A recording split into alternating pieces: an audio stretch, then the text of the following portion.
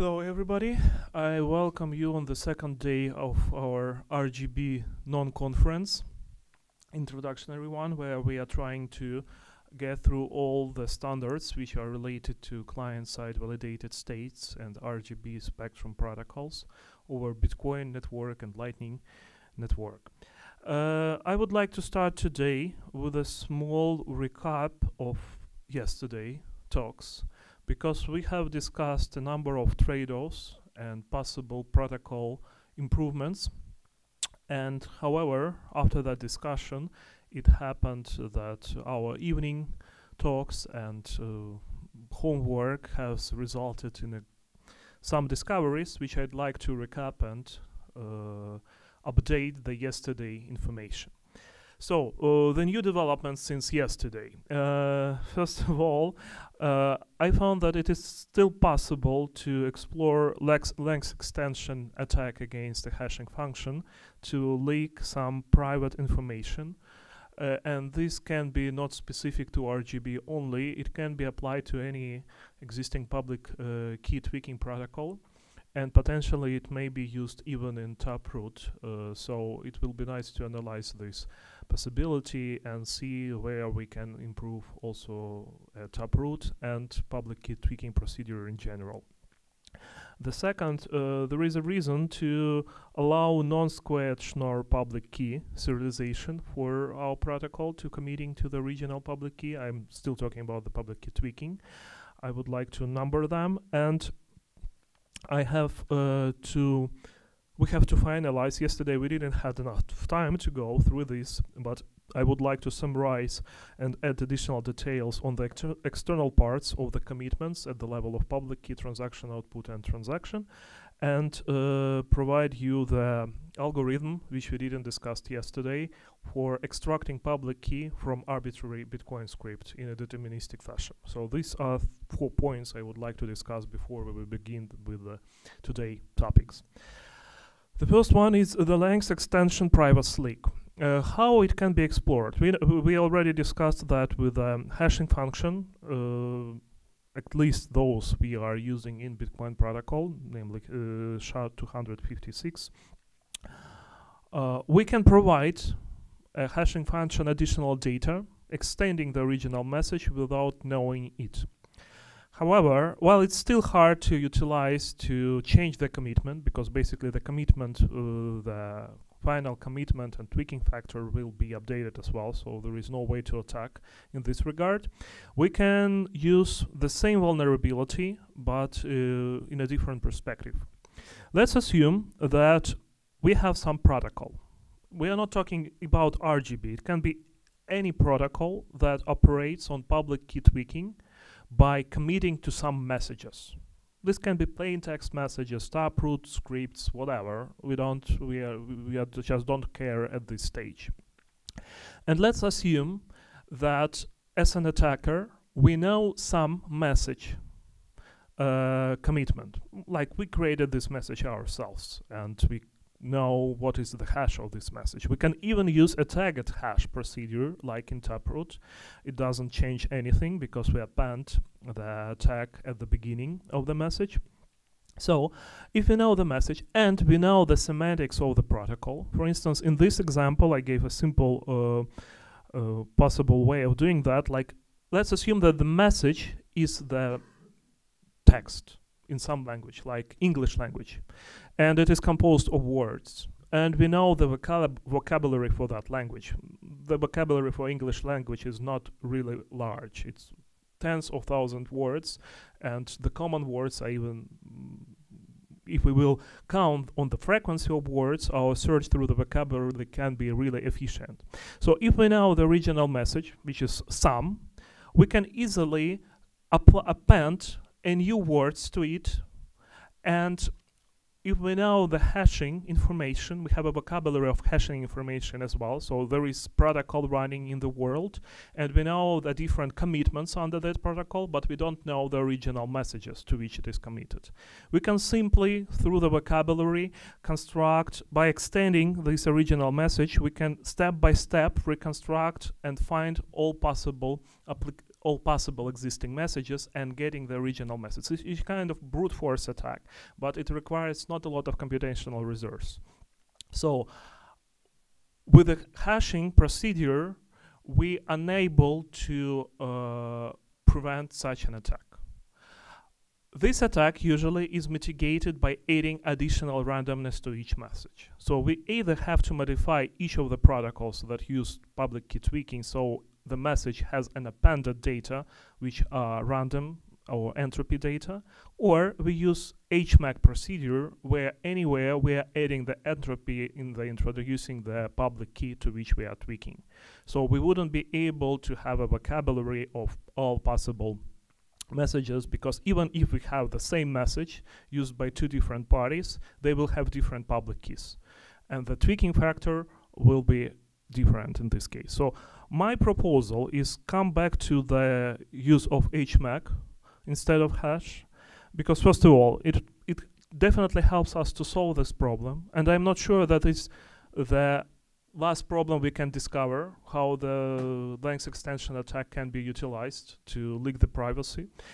There could be future attacks more sophisticated, which I just can't imagine today.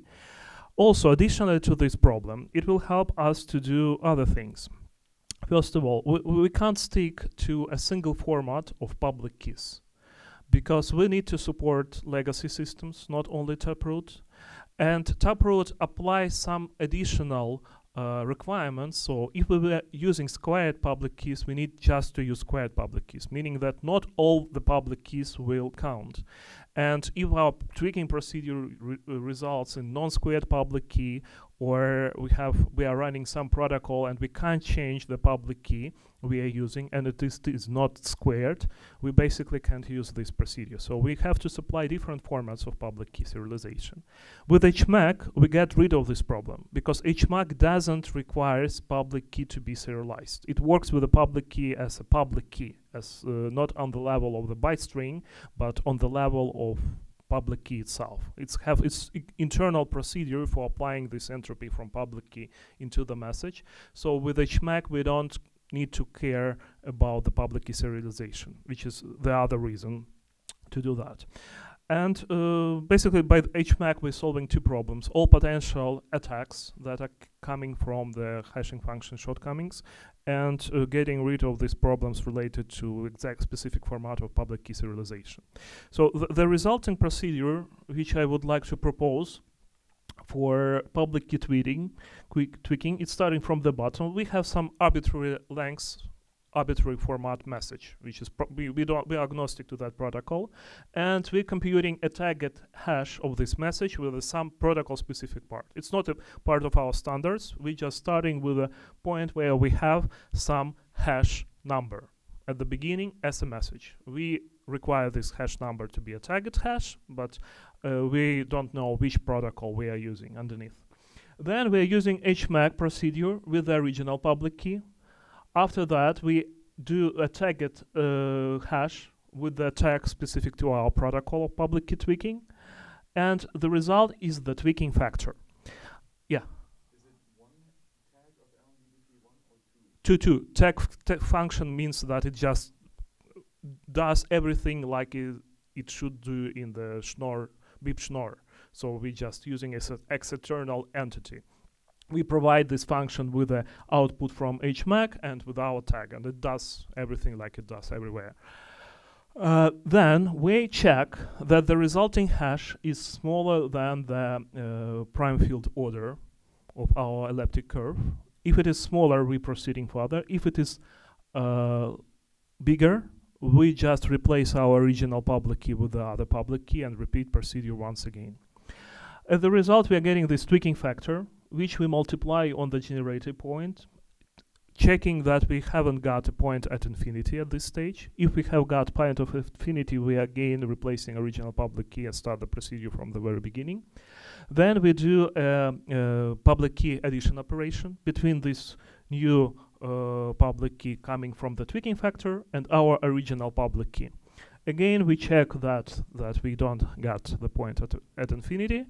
If we got, we repeating the operation. If not, we now have that weak public key T. Yeah. Might there be an issue with the gap limit that we reuse or that we uh, change the public key too often, that we somehow lose track where it is?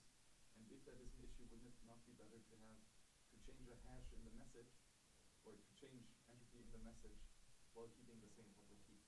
Well, changing entropy in the message requires us to operate to our protocol to fail, meaning that we need to return the failure. I would like to proceed all possible failures and make deterministic protocol which is able to commit. Anyway, the probability of these three events, each of them, is like 10, more than 10 in minus, uh, 66 degree. So it's like once in the history. Uh, so it wouldn't happen. So this wouldn't fail anyway. But because we need deterministic code, I introduce this repetition just to just to prevent any possible undeterminism. In case of uh, the taproot proposal, it covers this problem as well. And it says that the protocol just fails.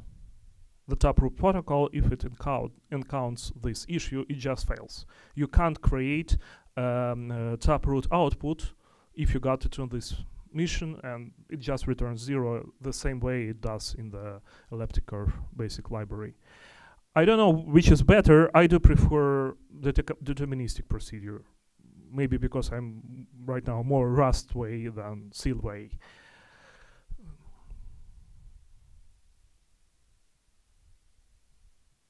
You want, yeah.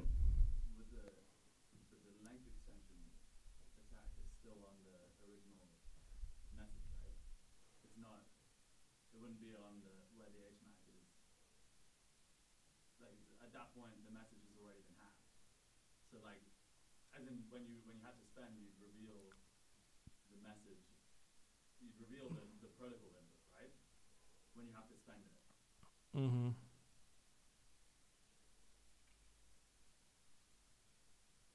Well, we can't attack at that level. What we are doing, we are not preventing somebody appending information to the message, but we're preventing. Uh, uh, let's take the RGBS example or Taproot, uh, better RGB, because we have, as an owner of some state, we have a history of state transitions and each of them are committed state transitions.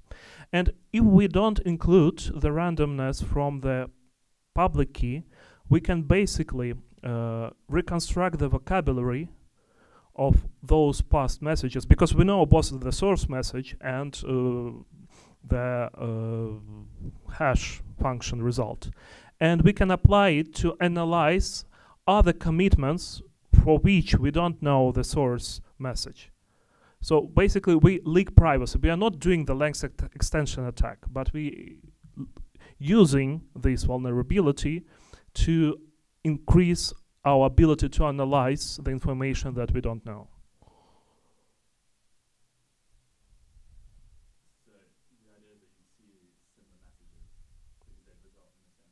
Yeah, but under the protocol, uh, we don't know what information can leak, like in the RGB protocol, is it the tweaking factors, not uh, the messages. So we can now, if we'd like to disassemble the original message to understand, we don't know message, we know the tweaking factor, and go from tweaking factor to message, we can't do that through HMAC on that level already. So we don't have like the result of this in public space, but we may have a tweaking factors leaking into the public space.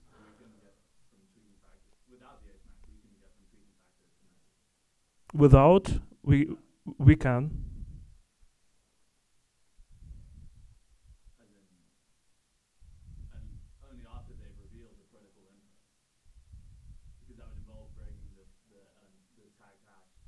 No, we, we, we, we can, because we know the semantics of the protocol, we can use length extension attack to analyze other messages until we find something. So we, we are not reversing the hash function.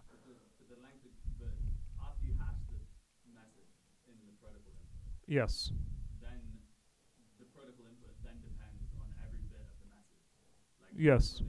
When you hash it in the next one. Yes. Tha that's that's the point that you can extend it. That's the length extension attack. Only only when it only when the message is has not been hashed. Once No, after after that's the point. After the message is being hashed, you can extend the hash. hash. The only the, the only hash that would be susceptible to length extension is the first time the message gets hashed. Because after that, then the the, the protocol input, the result of the protocol input, is then the, as soon as you ex, as soon as you extend it, it's meaningless to extend it to add anything onto the end because it, it doesn't it doesn't re, it then doesn't refer to the message to the original message. It wouldn't be Okay, so what what what is your proposal? Uh, just as in, I, I don't think the HMAC protects against, as in anything. You mean at all or here in this specific? In in the position it is at the moment. Okay, so what what is your proposal? The HMAC would be better at the original if you're gonna instead of tag hashing the message, HMAC the message. You and mean then and then. you- just a second. You mean that it is better to do like this? I don't know about better. but, um, Yeah, like.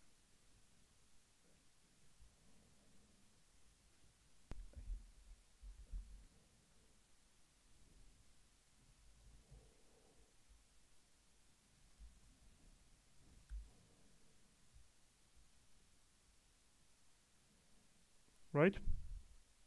Yeah. Or or moving moving that all below. Yeah, it's essentially that, and then the line would move up, right? This specification procedure would only start where LNPBP is hashed. LNPBP one fits in. Okay, so any other possible issues? Because once you do, once you HMAC, then the message can't be length extended, Yeah. and then afterwards, you Yeah. Okay. Yeah, I, I think that would be better. Can we improve in any other point?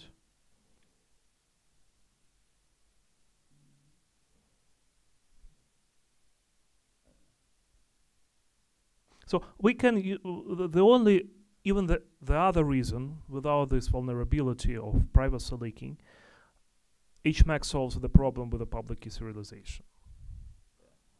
So it doesn't require us to introduce another protocol la- layer.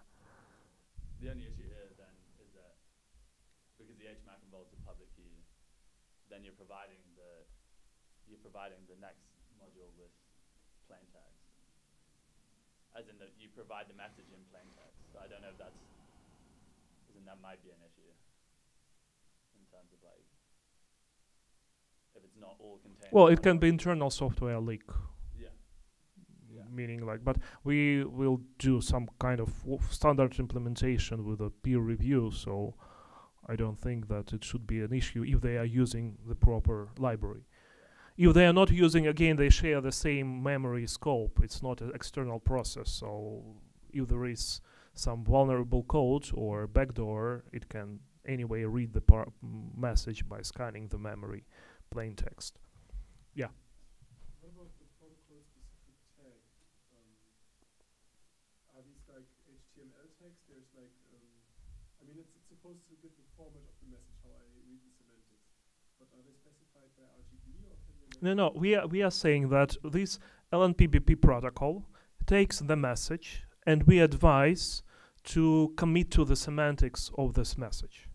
Yes, but W- which semantics are possible? Like, am I defining the semantics? No, we uh, well you providing us. We are agnostic to the semantics of the message. Yes,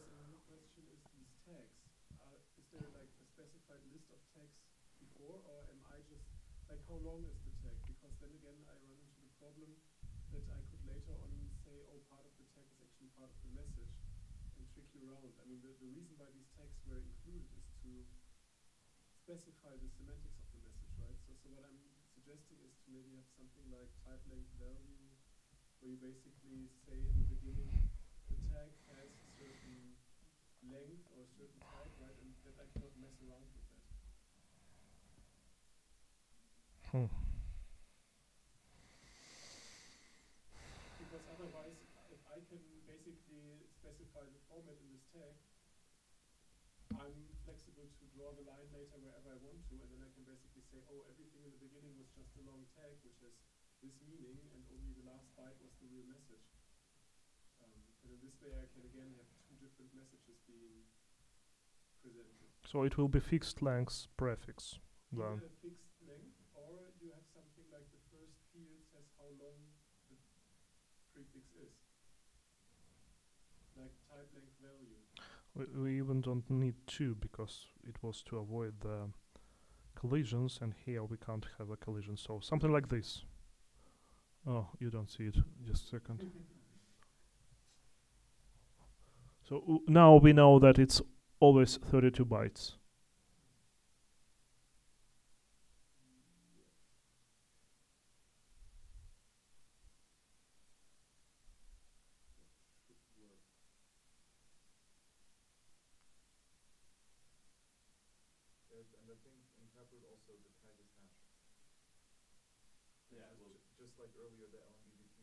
Yeah because it's tagged hash procedure. It hashes the tag adds two hashes up front and then uh, appends the message and then hashes that over So shouldn't it also be two protocol specific tags? Or two hashes of protocol? Yeah, I was originally doing that, but uh, here we don't need it because there we have a taproot tag hash procedure because it can collide with other protocols in Bitcoin. At this level, we can't collide with other protocols at all. We just need fixed length prefix But, but why deviate? Because uh, we deviate anywhere anyway. The the tagged hash it uh, will operate on fixed lengths, and here we have not fixed lengths method.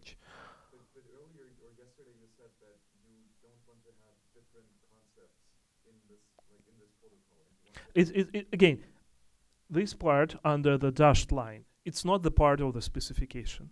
We are saying that we do recommend to commit to the uh, message semantics, and one of the possible ways is to use a fixed length prefix. Let's say like that. Maybe we wouldn't even say that you have to hash the protocol specific. It should be well defined fixed length prefix, always present. But why not making this part of the protocol? Because if you just make this as a recommendation, people will misuse it. the Hmm. So the, the the proposal then becomes like this. Just a second. with the double the double tag to fill to fill the block or the shard you could say. But then as in you, you add two so that you have sixty four bytes. So that the first block is always distinct from the message. But then with HMAC it does a weird padding procedure anyway. So it's like you it doesn't it doesn't really matter what. It's not like the first sixty four bytes can be read anyway.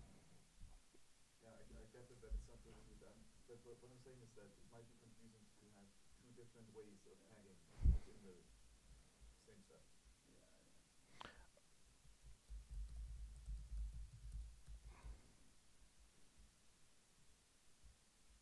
Well, two ways of tagging is not uh, mm, is not strange because Taproot uses like five ways of tagging or something like that. So it tags at the each level of Merkle tree and does that through all the protocol. So this is quite simple tagging comparing to what we have in Taproot. So uh, this protocol then, as an input, receives three things. First, original public key. The second is uh, the message, which can be arbitrary length message like a byte string, and the third is protocol specific tag.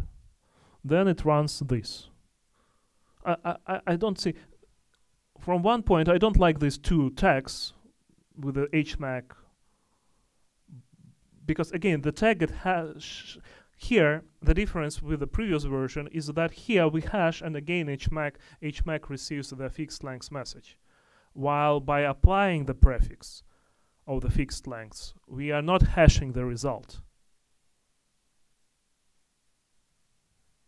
So it can't be a tagged hash. It, it should be a message prefixed with a hash.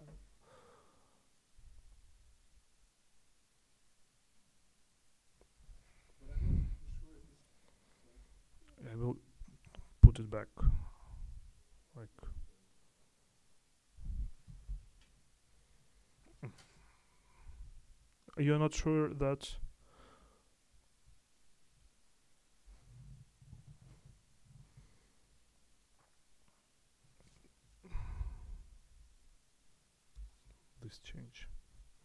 we will make it a part of the protocol. Oh, all right. So once again, to go through the rationale. Yeah, yeah. Yeah. so the the protocol input still original public key protocol specific type tag of arbitrary lengths and message. And probably the fourth input is the pub key derivation strategy, or the, the actually used pub key will be just an output. Uh, now we can't return just a pub key. We need a derivation strategy because we need to, to be able to create private key afterwards. So four inputs: derivation strategy, public key, regional public key, message, arbitrary length, and protocol specific tag, arbitrary length. Am I right?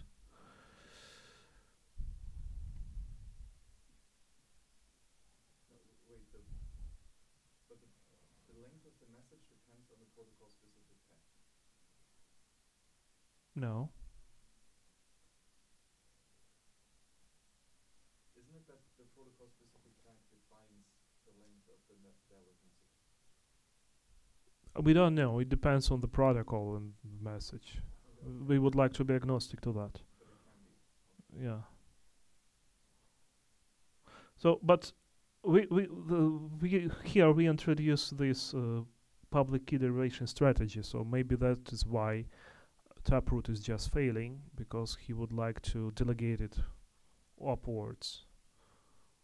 So it's up to the like if this is used inside the wallet, it is wallet who should decide on the public key derivation strategy. There is no way how we can, you know, our oh, know upfront all the possible public key derivation strategies. So it's just not. It's better not to introduce it here. So instead of failing, in, instead of replacing public key, we will fail the protocol. Probably right. Otherwise, we need another fourth input, and it will be of very complex structure.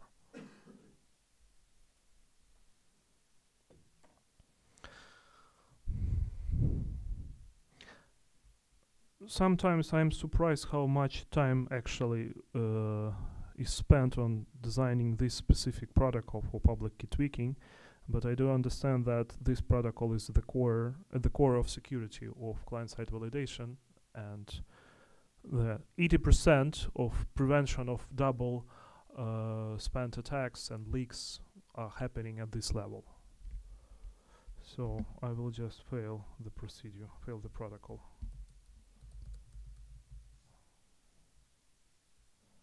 Sorry, I, I will put these changes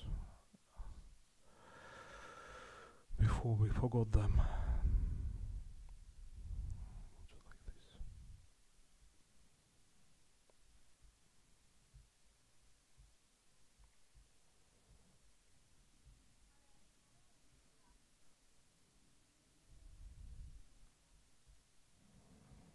So here we are failing.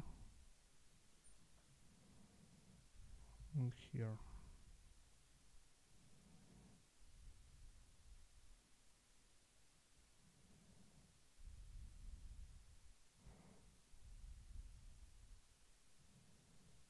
This a condition of successful operation. I don't need this. I don't need this. I will just move this. And we fail if we have a pointer at, at infinity. So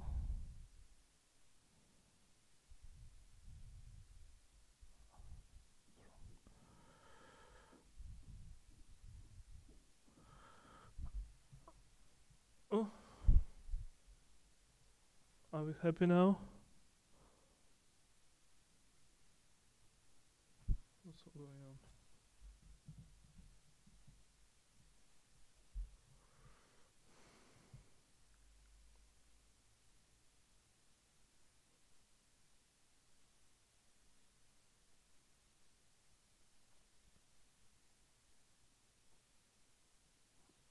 Okay. So the LNPBP dash one is just to make it taproot compatible, right? Yes. Not compatible, but at the same level of security assumptions. So this tagged hash allows us uh, to commit to what it is. It is a public key tweaking procedure under this specification, under this standard.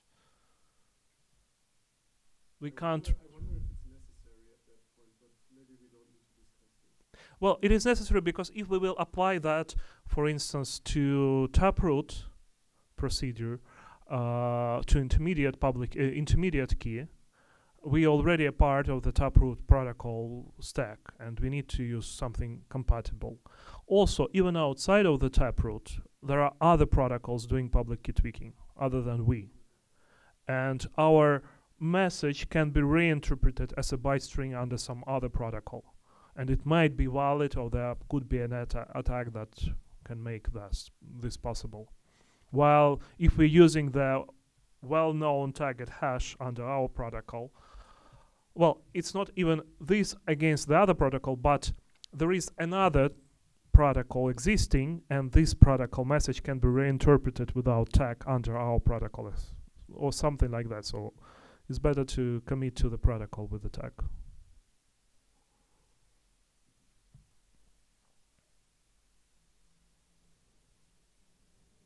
I'm not convinced, but that doesn't mean anything. I mean,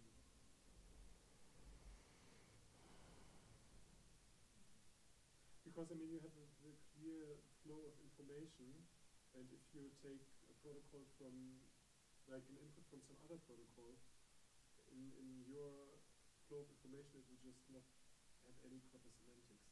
Nobody will be able to provide the original message Hmm. because you already have the protocol specific tag in the beginning, which is very Hmm.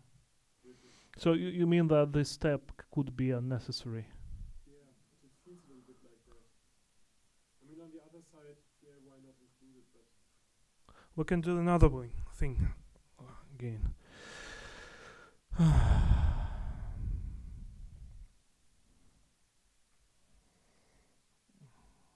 need to change this. Mm.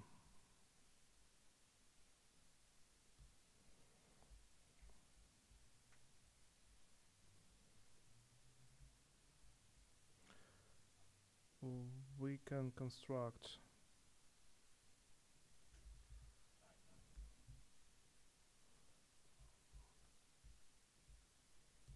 we can still use both tags yeah, that that looks more plausible. but without this part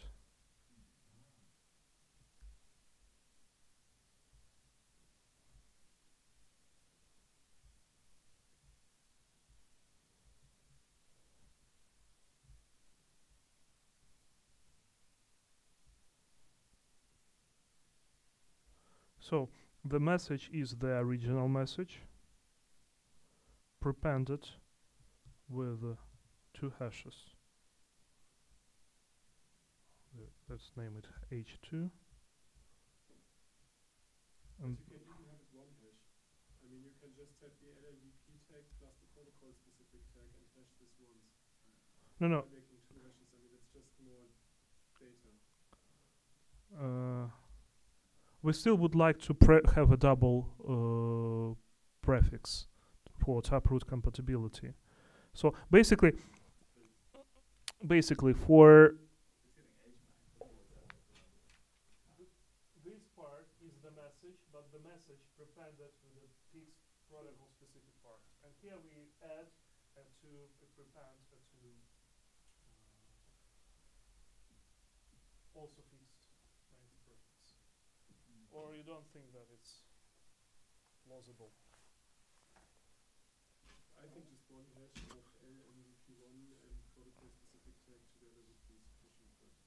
Together, you mean like this? no, the LNPBP1 and the protocol specific tag, if you combine these two, Via hash function or directly? no, if you just uh, concatenate them, But the like an extended header, it's like basically a header that has two You mean Yes. like this, Yes. without hashing, Yeah, now you put it into a hash and prepare the hash to the message. like this. But this produces H1 and H1 is the only hash that, yes, exactly. Yeah.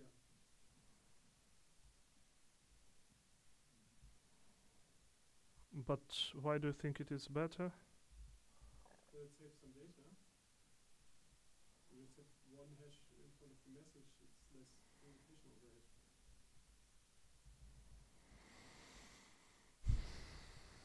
And it should be good enough. But if you only see hash one in message, you don't know which LNPBP protocol it is. Yeah, because it is it is changed by the protocol specific hash. If we have two hashes, you see okay this first hash is LNPBP one or two three four. yeah. You can identify the protocols by the hash. So Sure, okay.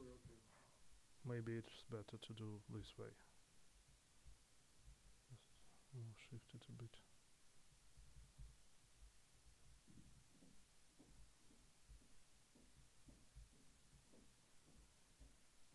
Something like this.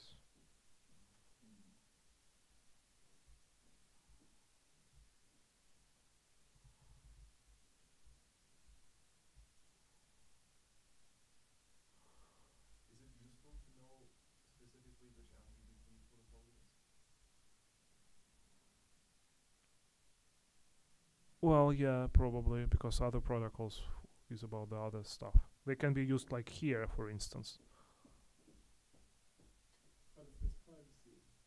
Because now I can always read the first 32 byte and I know, oh yeah, it's like one of those things. Whereas in the other case, I just have block.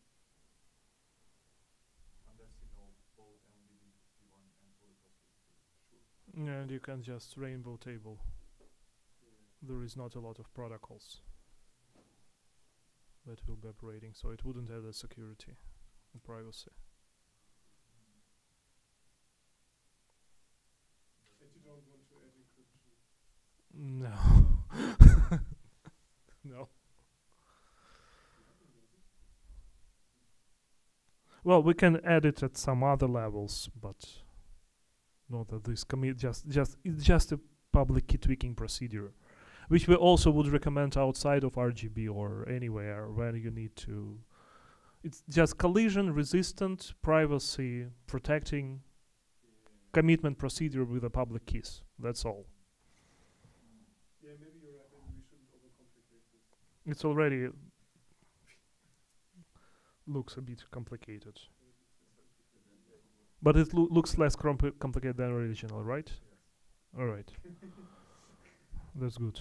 But, but, but he's right what he brought up that because we use HMAC on the tablet level, there are no double tags now.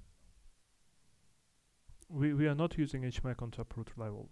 Uh, Taproot is not using HMAC at all. But aren't we using HMAC here? Yeah. Yeah, here. But it would never use it.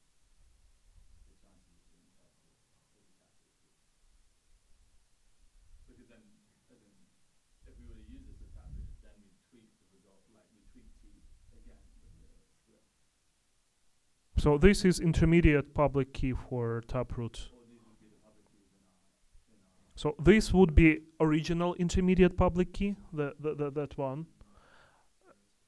If I if I switch to the Taproot graph, so we basically we go here, the red circle. So we take this as original public key, tweak it, and put it back into the protocol.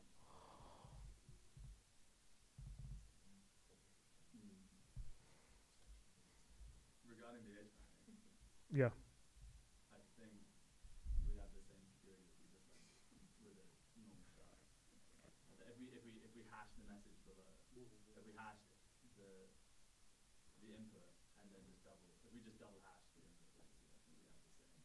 But we, we, we, we- there is no double hashing. The message is a variable length message. It's not a hash. I know, but then if we, if we, if we hash H one, H two message, Yeah. I think we have the same security as in HMAC. Yeah, but we have a problem with the public key uh, serialization. Though. but that, but, but Yeah. you could just, but then you could just hash the public, like as in. you could just commit- But we need to commit then to the serialization algorithm of the public key before hashing. So it, it just adds complexity. Can you, could you, okay. because we can serialize it differently. At least three formats as of today. And we don't know how many we will be in the future. It would because it's it's a different commitment.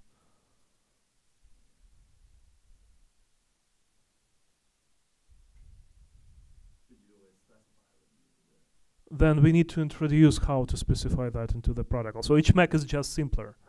It's just it's, it, it doesn't add a lot of computational complexity actually. What I'm interested is this tweaking procedure can be applied at at this level. Would it be better for Taproot or not? But I. But in Taproot, would we even be?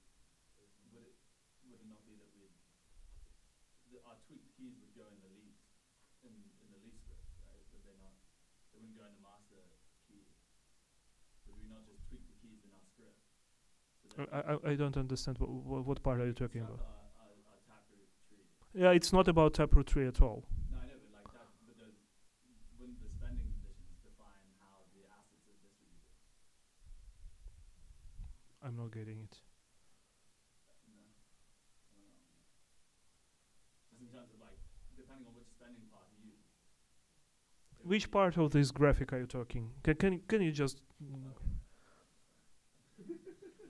So- you can have different ownership of RGB state based on the spending path that you use of one UTXO taproot. Right, so you have one UTXO and there are three different spending paths in the taproots, and each of them are different ownership rights that all go to the same single use field method. Yeah, which is, then, No, I, I don't think that's a good idea because anyway, in the Bitcoin script, even if we have branch, we attach ownership not to the branch. It's like with the Bitcoin script itself, the ownership under that transaction output, and you need to fulfill any of the branches or the, the conditions. So the same is here. But there, there be, example, two or three completely different multi-sigs, uh, day three, day three, and day three. And what? and one of them can spend the coin thus updating the state. So we have three possible claims to changing the state. Yeah, but we the the only one will win, and it will take all. We can't split the ownership. So it's no no reason to do that. Like in, in Lightning Network, you still have different branches for satisfying the conditions of the transaction output. But whoever satisfies this condition first just takes the whole value. But it still might say it might make sense if you have, for example, timelocks. So this multi-sig can spend it right now. This multi-sig only after one week. So yeah. I, I think it, it might make sense to have this functionality in general, but it doesn't change. Like, uh, like it's a specific use case. I don't think it changes the protocol. I, I just don't get a use case even. The Again, the, the ownership is bound to the transaction output. However, we shouldn't differentiate from Bitcoin owns. Whoever owns Bitcoin owns the state. And Bitcoins in the transaction output are not splitted across any branches of Taproot or Bitcoin script or anything. It's uh, atomic to the transaction output. So I, I just don't think that we need to go in that in that direction. Because we will break the whole security model. And i'm not sure that we will uh, win anything. But then, if we, if we have this multi-sig scenario, say like there's nine keys in the Taproot s- internal key, internal key, Yeah. any one of those, and if, if it's just one of us that wants to commit to, to seal to that Taproot, then anyone could uh, s- unseal, or anyone could close our seal, but we wouldn't do that. We just, you don't, I, I, I- don't see any problem here. So there are nine people creating an internal pub, pub key. internal public key. They they add tweaking factor to that public key after that. And then they create a taproot over it right? It means basically that uh, to spend this output, they need to satisfy the condition either of this part or of this multisig, and after that added again the tweaking factor. That's all. So what? It, that's fine. My question was: so we now have this for our commitments in RGB, but should we also, because many of us are participating in the ru- review, taproot review. This tweaking procedure, this tweaking procedure, may run also under this protocol. So this. So here, here, there is a tagged hash. Here, the here there is a tagged hash. Should it be beta HMAC or not? I don't know.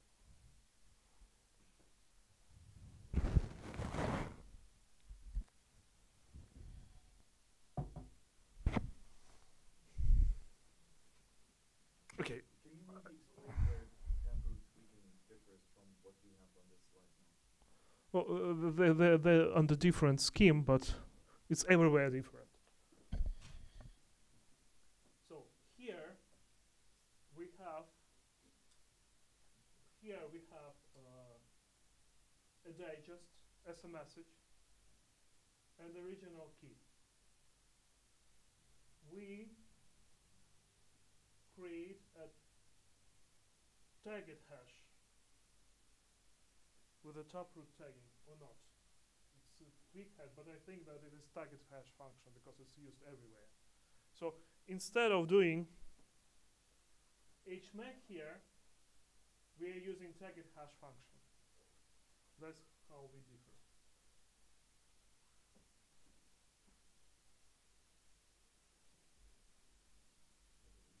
And because these scripts can be quite typical ones, and it's a limited vocabulary of scripts, wouldn't it be better to do the HMAC here? Because of vocabulary? Yeah, Yeah, but the pub keys are different. these ones. No, no, no, no. If you Not look, so. if you look at the scripts, I mean the vocabulary, yes, Ah, but the data in yeah, yeah, yeah, yeah, right, right. yeah. A lot of entropy. And from efficiency perspective, it's better to do hash than HMAC here. I mean, of course, if people do address reuse, and they put pub keys in all, I mean, I can test this against all pub keys that are being used in the course, but But, but actually, that's a good point. For RGB messages, is there entropy by public keys as well? But now we don't want to have it specifically for RGB, it should be generalized. So we kind of assume that the message contains random public Well, even again with the public key, people will reuse public key anyways, and uh, i- it can. It's it's more it's harder here because there we have just a single public key. In script we have number of public key potentially. However, like if the taproot will be used at Lightning and it will be one day, meaning there will be a standard outputs frequently used that contain only two pub two public keys over and over again, even inside the channel updates and the leaking of the information, well,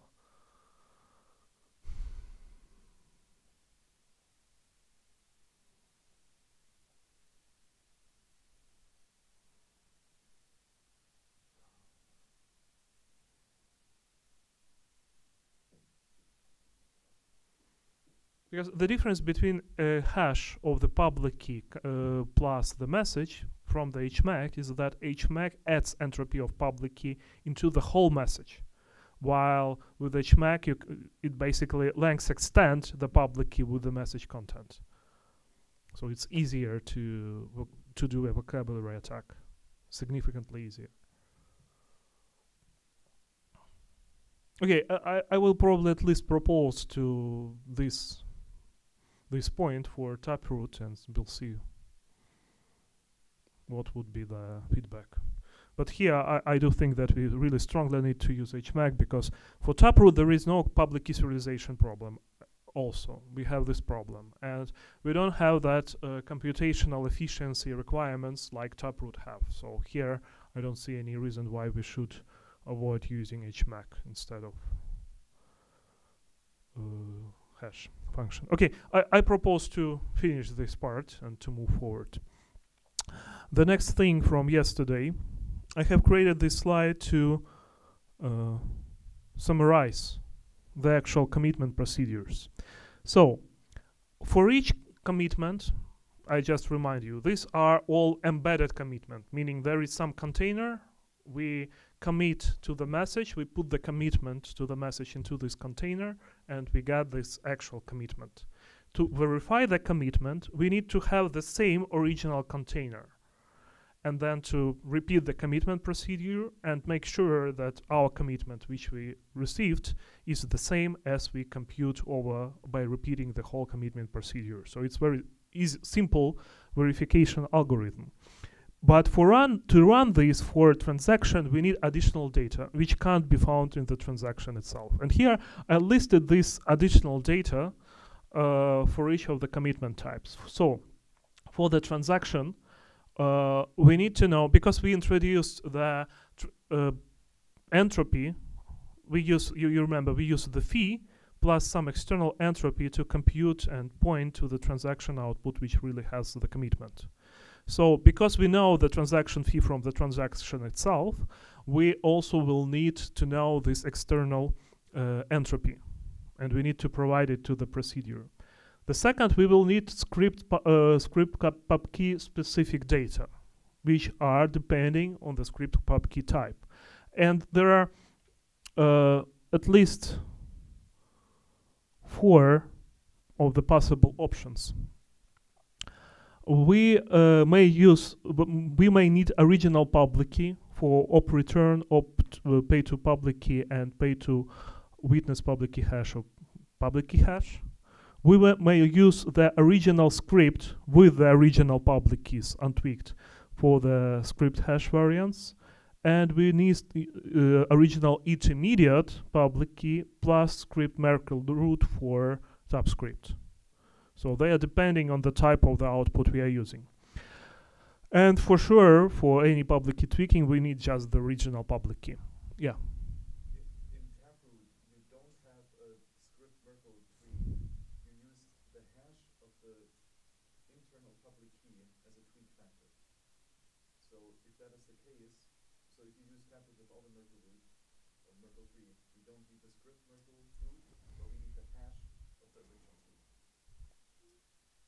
Sorry, I don't got it, get it.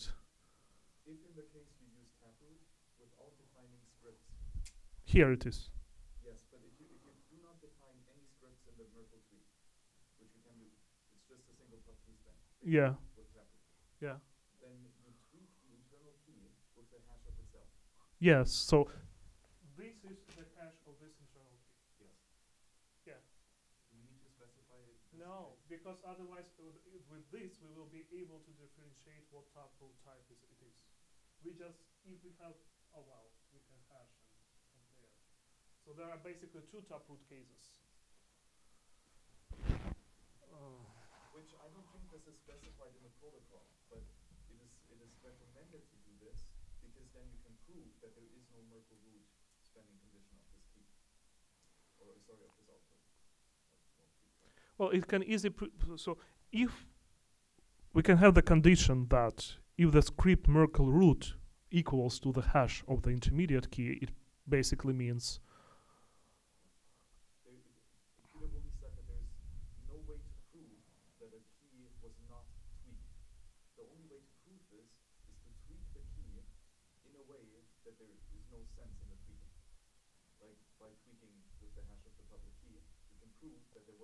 yeah, yeah, yeah, yeah, yeah, yeah, yeah. But it, it, it doesn't. So we can make this part optional. So if it is there, we know that it is uh, a script underneath. If it's not there, we just hash the original intermediate public key and tweak with it under the taproot procedure. So we can provide less data.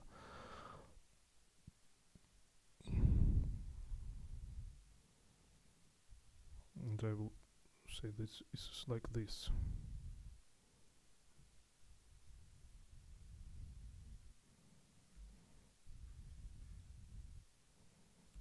So, in three cases, we need just a original public key. In one case, with a custom script, we will need probably a number of public key, one or more, depending on how many public keys are used. With the script hash, we need the whole original script plus the public keys. And with the taproot, we need original intermediate public key plus optionally script Merkle root for the cases when we use script. Right? Okay, and on the transaction level, level additionally to this, we need uh, protocol specific knowledge of protocol specific entropy. So that's how we commit into the transaction. And this, uh, regarding this protocol specific entropy, will go back to the demonstration mode. Uh, with this protocol specific entropy, there is one very important point we were discussing yesterday uh, with Martina. Yeah, and um, the point is that uh, if it wouldn't be a protocol specific entropy and some other form of entropy, uh, not the same for all the protocols, it may allow us to do a double spending attack. Uh, it's hard. The case is hard to explain, uh, so I, was trying to draw it, but it's not simple to draw. But the bottom line idea is that uh, if I have two inputs spending some single-use seal output, so closing these two seals, uh, they will provide different under the same protocol, and they will provide different entropy.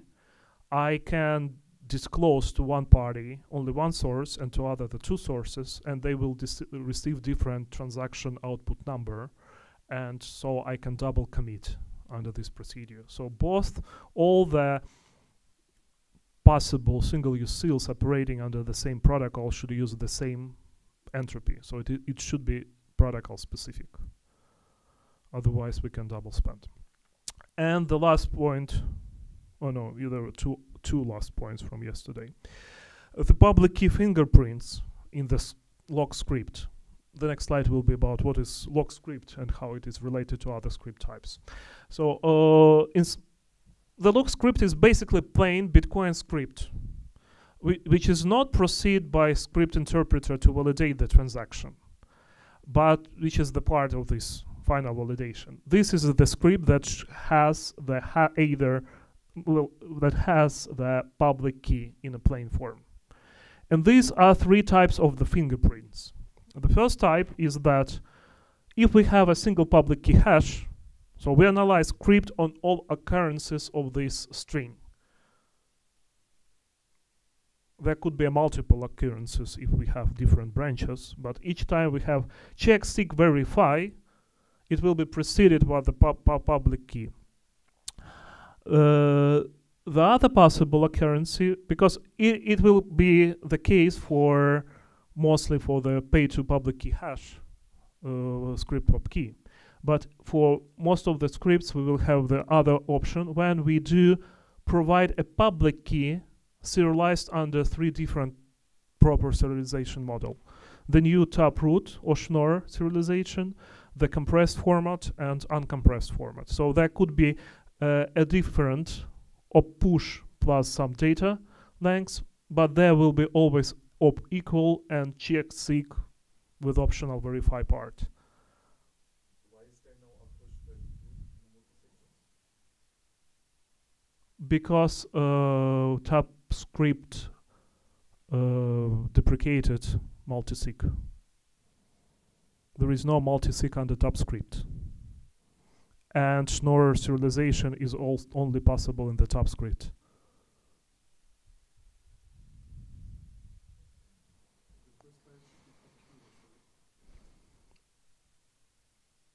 Yeah.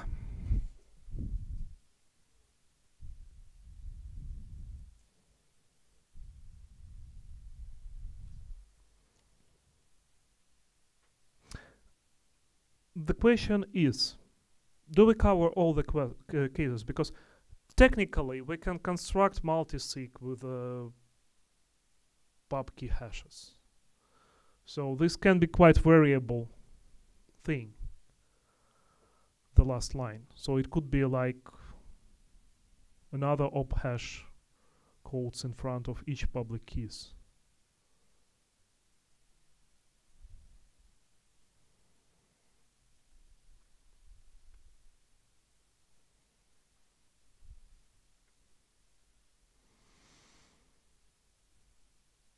And I was thinking about doing it a CHECKSIG or for instance it could be just op equal. However later I decided that only those public key which can be signed with a private key has to be part of the uh, commitment procedure. So you can't tweak the public key to which you can't provide a private key. And the only way of fulfilling that is to checking the signature so we only use those public key that are verified for the signatures. But there is another problem because again nothing prevents us to introduce new opcodes between the pushing into the stack. So if we don't modify the stack, we can easily introduce new opcodes between parts of the script. Like after the push procedure for the public key. So the problem we are trying to solve, we have a Bitcoin script we need a deterministic way to find all commitment points, all public keys that has to be tweaked. First to tweak them and then later to verify that all of them are tweaked. And Bitcoin scripts can be quite different ones. I mean, you can put the same functionality in very different ways. How to deterministically specify that part?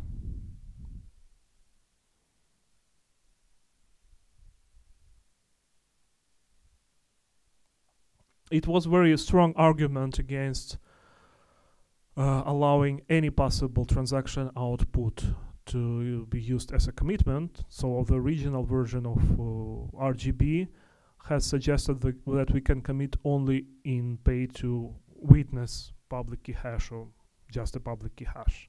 However, it happens that we will be incompatible with the Lightning protocol because basically in HTLC success and HTLC failure transactions, we don't have pay to witness public key hash outputs. We have just a single witness to public uh, pay to witness script hash. And with um, commitment transaction, soon we wouldn't have also pay to, to remote output as a pay to witness public key hash. So if we need a compatibility with a Lightning, we have to commit into the pay to witness script hash. And if you need to commit to that, we need to support arbitrary Bitcoin script.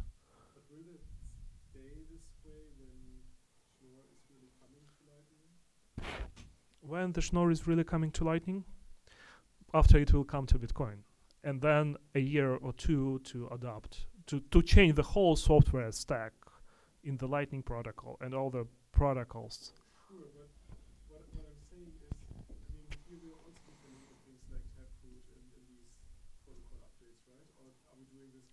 No, no, we are not depending. We are ready for them, and we wouldn't change anything when they will be out there. But we are not depending on them.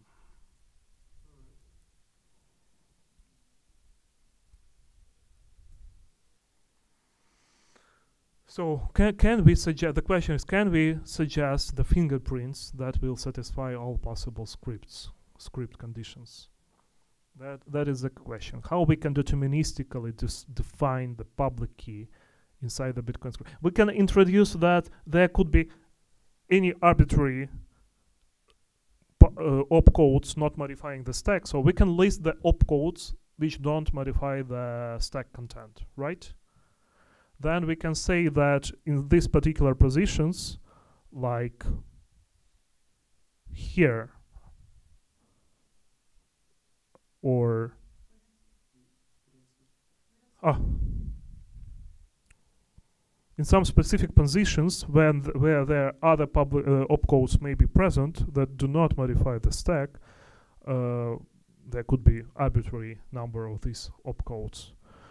And then seems like we are covered.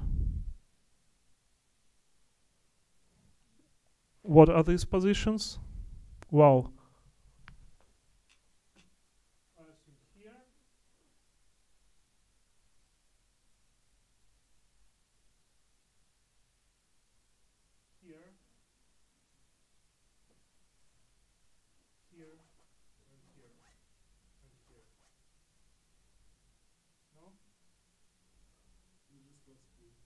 right? This entire question of like, why are we trying to? The public key, the original for, for the tweaking, right? Yeah.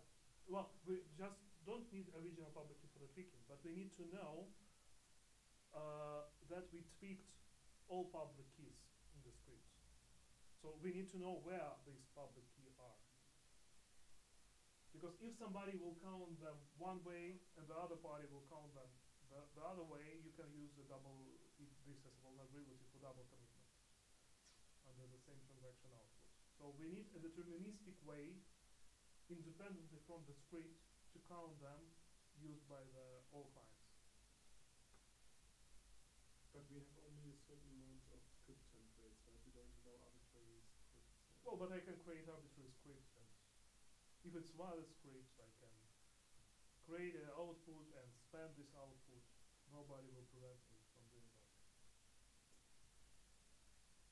Yeah, but then it's just not compatible with.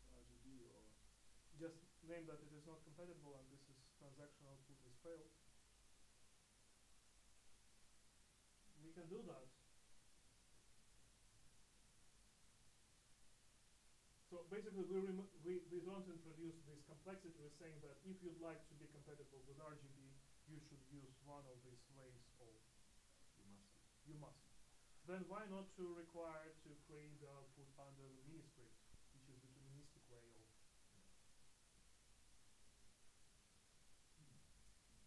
So provide a mini script patterns.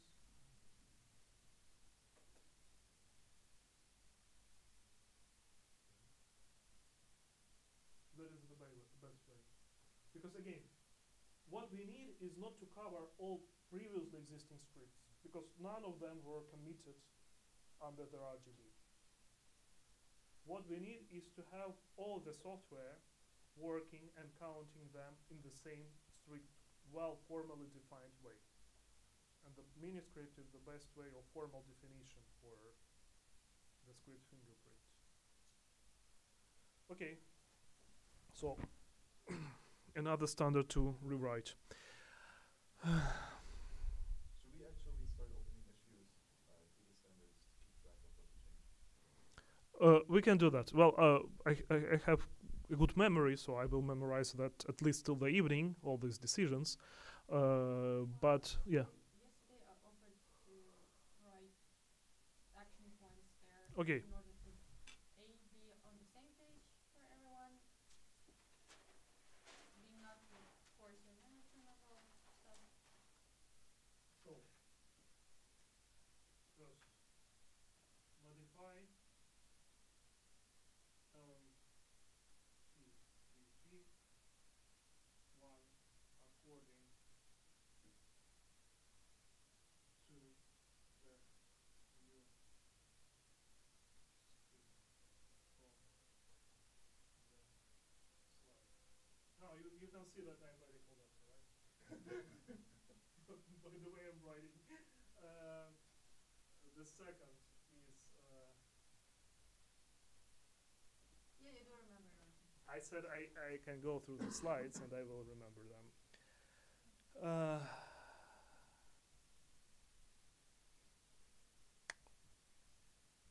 Or not. no, I, I'm thinking how to structure that. We are writing action plans. So propose taproot hmac and disclose possible privacy vocabulary.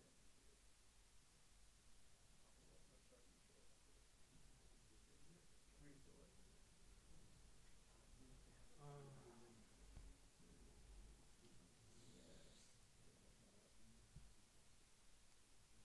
guys. The, the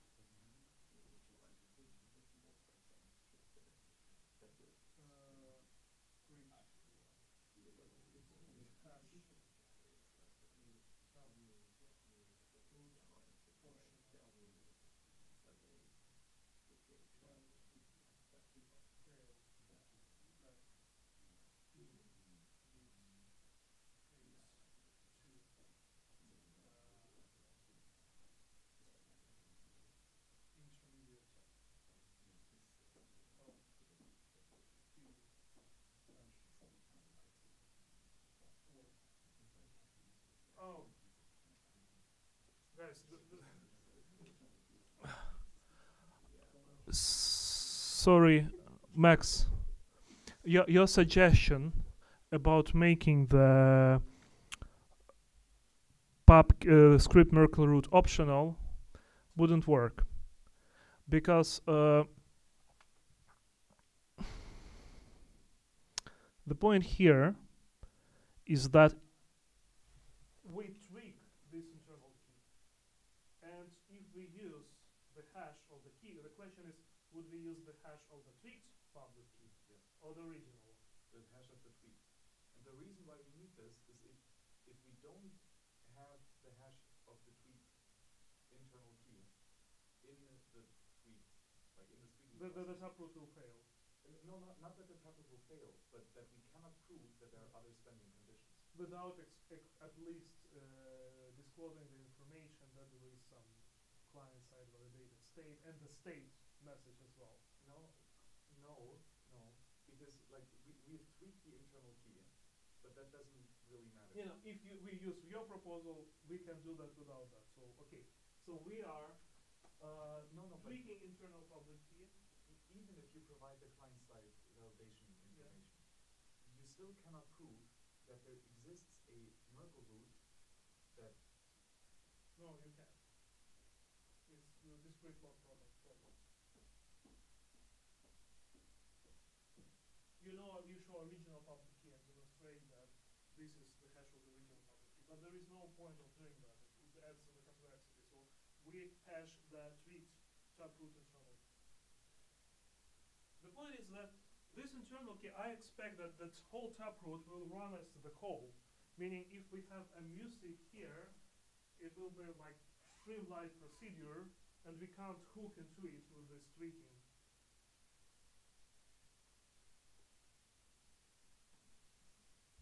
You, you see my point? Yeah, because you're right, because the internal key is tweaked, so we can prove that it is tweaked, but it's not tweaked with a Merkle root, it's tweaked with the, uh, CSV data.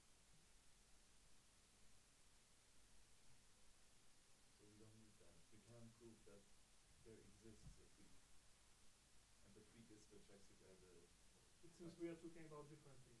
So I do agree that if we can tweak this internal key and we don't have a script, the taproot should be provided with the hash of the tweaked pa- uh, internal key. That's fine.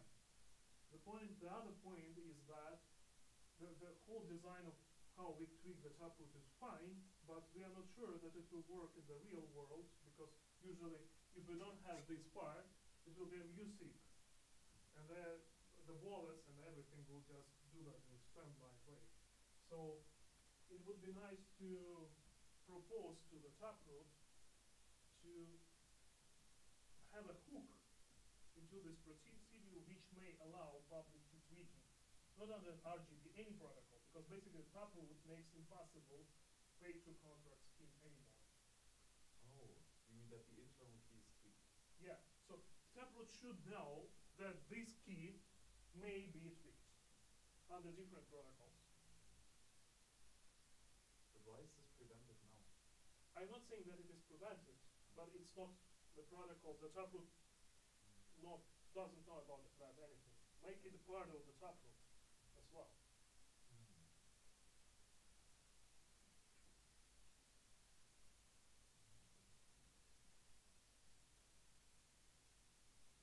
I mean, you can't tweak any public key. So why specify it here? That the internal key can be tweaked when it's clear that it can be. Uh, so we may tweak any of these public key because they are just added to each other. It's just a simple public key addition, right? So if we tweak one of them, we tweak all of them. So if we tweak Alice's key, Bob's key is not tweaked, but the But the- MuSig key is tweaked. Yeah, inter- intermediate, so basically it's like. Mm. So we don't need that as a part of taproot. We have public keys for Alice, Bob, and Harold. And they result in intermediate public key. Now we would like to tweak the intermediate public key plus some factor. But it is the same like we tweaked only Alice's public key with the same factor and added two other afterwards. Right?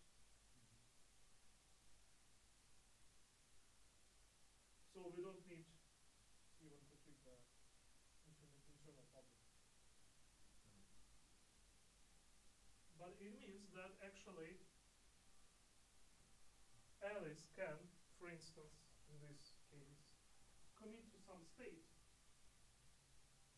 and the rest of the participants wouldn't know anything. And that's, that's the exact thing why you tweak with the hash of the public key, because then you can prove that you did not do a tweak in some way. So if, if Alice wants to, or if Bob wants to prove that he did not commit to a secret, he uses a tweaked key with the hash of the internal. But is it a part of the new secret scheme? No. And, and that's something, Why would they do that when the privacy issue? well, yeah, I mean, if, if, if- if- like, that's the thing Peter said, it's, it's not really a point to standardize this, because most of the time it doesn't matter. But if you want to prove that you, do, that you did not tweak with some Merkle root or any other data, data contract or whatever, then you need to hash the public key in the tweak. That is the only way that you can prove that there is nothing. So you have to tweak anyway, Yes. either to the hash of the public key or Yes, under LNPBP1. yeah, So if you tweaked uh, under LNPBP1, it proves uh, that there is no other tweak, yeah, that there is no other. tweak. that this is the only. But we don't need to change taproot anyhow or Yeah. our protocols anyhow. I think You, you could tweak something into your pub key and then tweak it with the hash of the public key and then Yeah, so basically, if you. Yeah, but RGB will fail because because it looks at the tweak at the top level. Yeah, yeah, yeah. So basically, if you want to prove that there's really nothing committed, like every public key, like the base public key that there's nothing else committed to, should be a tweaked key with the base key and the hash of the base key. Okay, so But if you want to prove that, I'm not sure even if you need to prove that. so basically we don't need anything in the root at all. Additionally, it will work for like that. And if Bob and Carol would like to make sure that Alice didn't commit any state, they need to force Alice to provide the proof for that. Yeah. It's their own. It's off protocol. It's off product. That's why it's also not in specified, because it's, Okay, Some- so some we no- don't need this.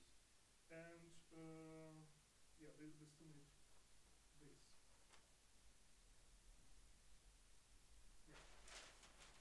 Okay, let's go over. So the other action point is,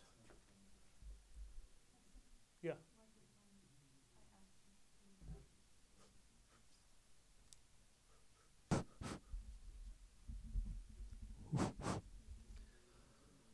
uh, yeah. Migrate to the final action point, migrate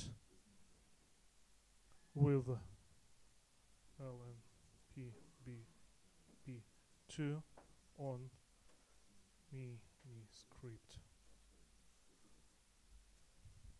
Okay, so we, we are now coming to the end of the day first recap. So, which script do we analyze? The final question. Uh, the idea is that uh, we have the source script from which we can create all the required script types under any kind of output. So there is a script from which we can generate a pub, uh, pub key script and a SIG script when we need to spend this pub key, a pub key script, redeem script, and SIG script if we have uh, a pay to witness script hash, a pub key plus witness script and SIG script if we are using witness structure, or a Tapscript and SIG script if we are using SIP script.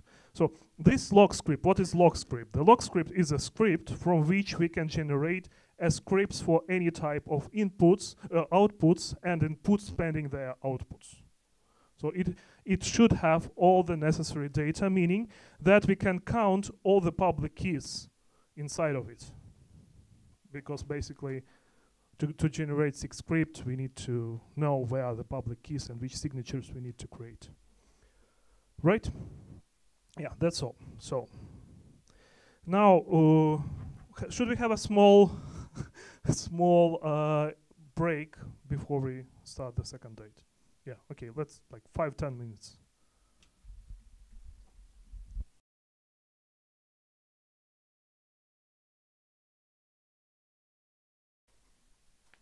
Okay, so let's start the main topic of the day two. Uh, first, I would like to start with the less technical part, uh, which is uh, recap the use cases for RGB and what is RGB. We already discussed what is client validated state yesterday. Now I would like to move to more generic understanding what is RGB from the user perspective. I- it will be a small first section, then uh, we will move to single use seals details uh, required to understand the state, review of the state related protocols, and zero knowledge, which are very tightly interrelated. Uh, so, starting with RGB recap. Uh, what is RGB? The RGB is, in fact, uh, as we discussed yesterday, is a set of standards and the implementation of these standards. I mean, the code implementing those standards. Uh, and this code and the standards are about client validated state management.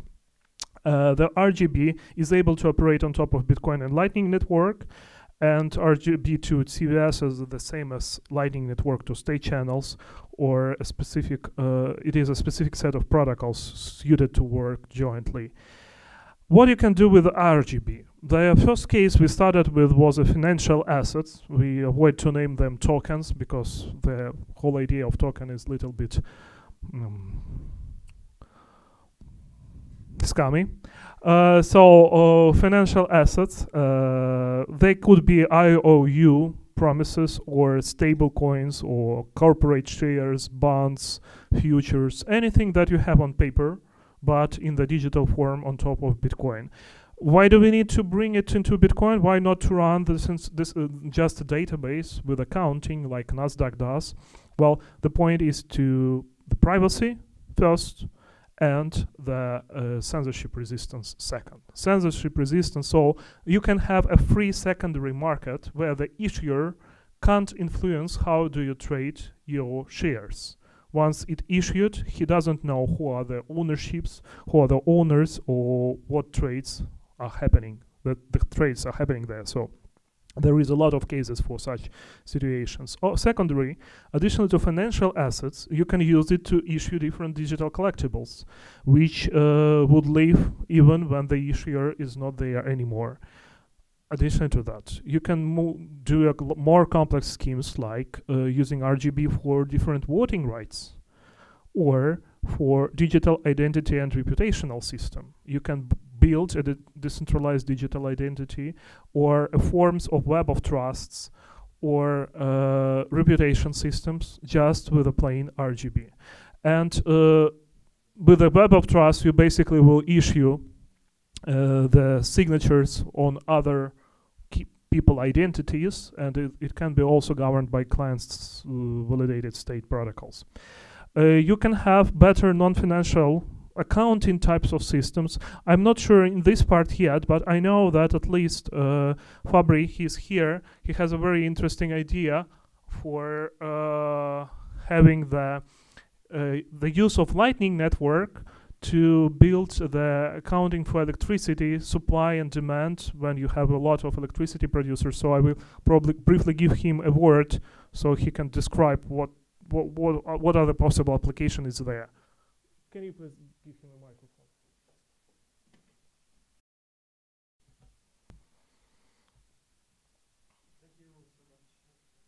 It's working. Thank you so much, uh, Maxim, for the introduction. Yes, the, the, the idea at the base of, uh, of this model that I've described uh, in, a, in a paper I, I will share to you is that basically you use RGB and lightning to like mimic a sort of electricity market between small producer but even bigger and consumers uh, that uh, is based uh, like uh, on, a, on a set of promises on future delivery of electricity. And uh, with Maxim together, we are trying to figure it out how, our RGB protocol could could settle these promises of a future en- electricity delivery. And uh, yes, basically this is the idea, and uh, the use of Lightning is that all the transaction of energy that also happens on the grid when there is the physical delivery are settled with uh, payments in bitcoins. So we could go deeper, but uh, this is just a, the short introduction. Thanks. Uh, yeah, as far as I understand, the idea is that when you have a lot of small electricity producers in the network, like today with all the solar power, uh, a lot of households are becoming not just an consumers of the electricity, but also producing electricity. Producing at night, consuming day, and other schemes, you have to account all of that. And with a centralized accounting, first of all, it's not scalable for such a decentralized system. So the system, bottom line, physical system of electricity became decentralized, and we need decentralized accounting. And sometimes we don't need in instant payments, just not to replenish the liquidity of the channels, for instance. We can do accounting and settle later, and for that reason, we can use different forms of tokenized things on top of RGB protocol. And uh, also, you can tokenize different goods, including ownership rights and access rights, and operate on these tokenized access and ownership rights with RGB. And even there is some preliminary research into can the RGB be used as a form of future contracts, meaning that, for instance, we have this storm idea of storm with um, uh, incentivized messaging and storage on top of Bitcoin protocol, and the Bitcoin smart contract, the actual partially signed transaction, can be put into the RGB and traded. And I wouldn't say that it is like ready to go uh, idea. We still are doing a lot of research and a number of issues are not covered, but potentially we can even trade such forms of smart contracts over the client validated state. Uh, especially with a spectrum when you can do that in decentralized way with the lightning network uh, the rgb use cases is thus uh, free and decentralized secondary markets it isn't it would be an indus- interoperable industry-wide standard fortunately we will be able to make it operational not only on bitcoin and lightning network but also on liquid and uh, the core feature of RGB anyway, comparing to all existing tokenizing alternatives starting from ERC20 and any other other blockchains or Omni on Bitcoin, is it is very privacy focused and it has a zero blockchain footprint. So we do prevent use of chain analysis tools, and we, as we have seen, very focused on leaking as much as as little information as possible. Uh, we uh, preserve privacy against the counterparties of the trading activities and state transfers. We will discuss this throughout, throughout today. We hiding the private information from asset issuers so they can even don't know who are the current owners or the volume of the trade on the asset and we also increase the privacy of the lightning network itself i will be talking about this more uh, tomorrow so of course there is a lot of these other projects trying to do uh, the assets on top of uh, Bitcoin. The most advanced, uh, of course, is confidential assets. Uh, we are looking not to compete with them, but more like to find a way to synergistically develop more uh, private, even more private standard, and also standard using less on-chain space, which is able to operate not only under such spec- some specific uh, conditions like in liquid, but also in Bitcoin and Lightning Network.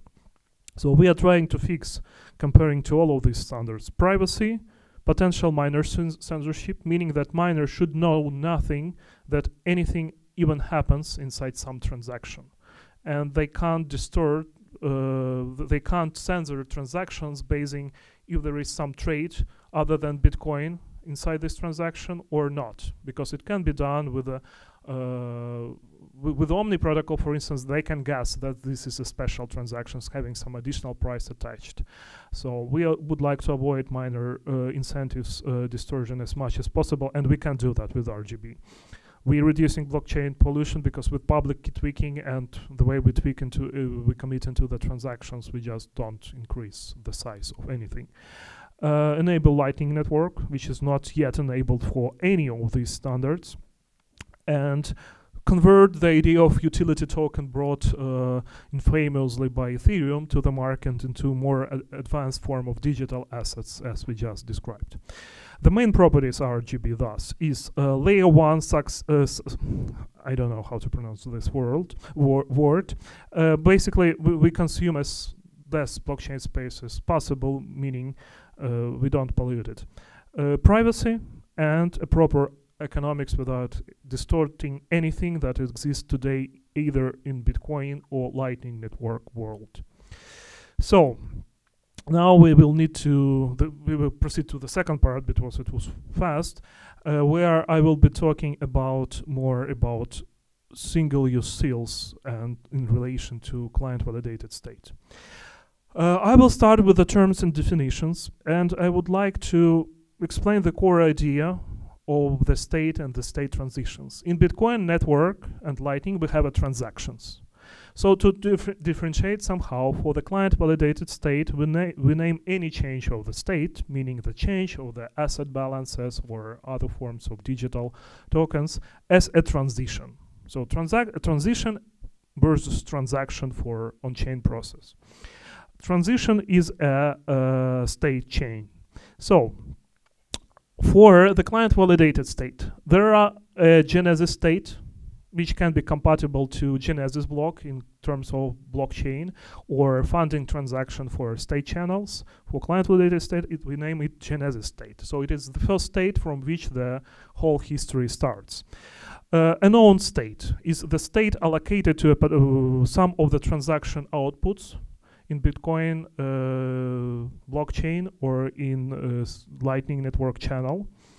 Uh, we discussed that a lot uh, throughout yesterday. A state transition is an equivalent of transaction. We change some state, and there are a, a state transition commitment proof. It is a set of client validated data accompanied by a proper transaction, either from Bitcoin blockchain or from a local Lightning channel, provi- proving the security of the state transition. The they prove and demonstrate the fact of the transition, and they prove the absence of double commitment to some other state transition under the same transaction. Uh, and you other things which we haven't discussed yet are the client validated uh, state schema and the client validated state graph. What are these? Uh, the schema is uh, the type of the state data, metadata, and other parameters like possible scripts, and also a rules uh, which are used to validate some particular state. So the schema defines the state, its properties, and the rules how to validate the state. Because the state can be committed to the Bitcoin blockchain. It will could be a valid commitment, but the state itself should be invalid because of internal inconsistency. So the schema defines how to find out is the state is internally consistent or not. And the graph is basically is a graph of all state transitions from the genesis state to some own state under a, um, uh, meaning it's kind of the same graph with the transactions. If you own some bitcoins you have a graph of all transactions for your bitcoins from the genesis block. But it is on-chain graph. Here we have the off-chain graph of state transitions. Coming back, back to the single-use seals and trying to merge the single-use seal concept with the client-validated state concept, how they come together. So let's assume we have state data defined under some scheme. We commit to them using some hash function. We got the digest, and we then commit to the digest of this state data with a some transaction. This transaction is a witness in terms of single use seals, and this transaction should spend some transaction output at which we will have some other previous state. And the whole this process will result in commitment proofs and result in the witness transaction being published into Bitcoin blockchain or becoming a valid uh, transaction inside the Lightning channel. And this is a step, this is actually a, a transition, a state transition process. the previous state here is not shown, it is bound to this seal, and we change that state with this new state from the state data committed to the transaction that is spanning that seal, closing the seal over the new state.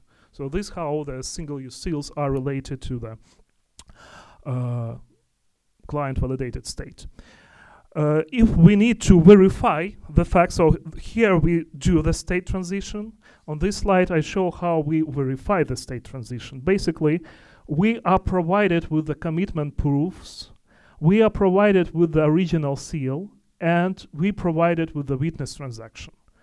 And we verify that the witness transaction contains the commitment to the digest, and because the transaction itself doesn't have sufficient information like with the original scripts, original public keys, and external protocol entropy, we use these commitment proofs, which are external to Bitcoin blockchain and the actual uh, part of client validated data to verify that the commitment done in a proper way.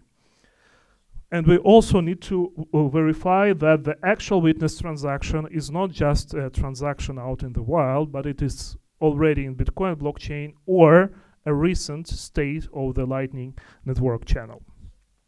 So, with this, we can build a chain of seals. Uh, I would apologize because the terminology here a bit outdated, like root proof, and it is genesis state, and proof P1 is a state one.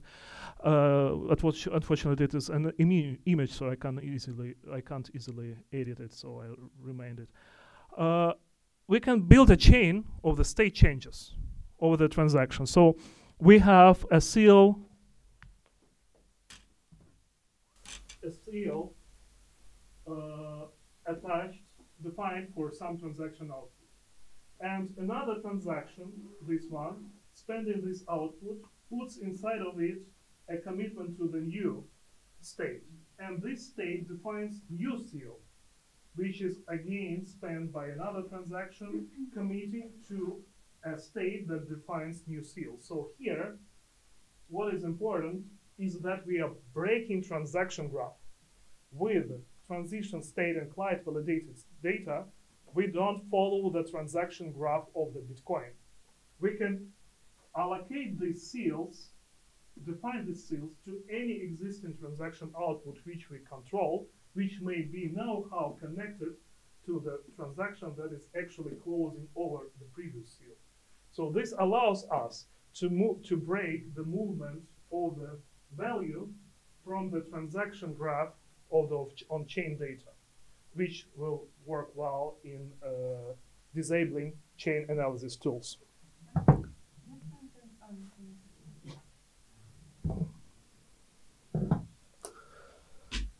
Then, additionally to creating a chains of uh, state transitions, we can do a tree of state transitions. So, for instance, with the sum state, here it is P3, we can define two different seals allocating different parts of the state to these seals in different transaction outputs of different transactions. And then we will have a branching of the state.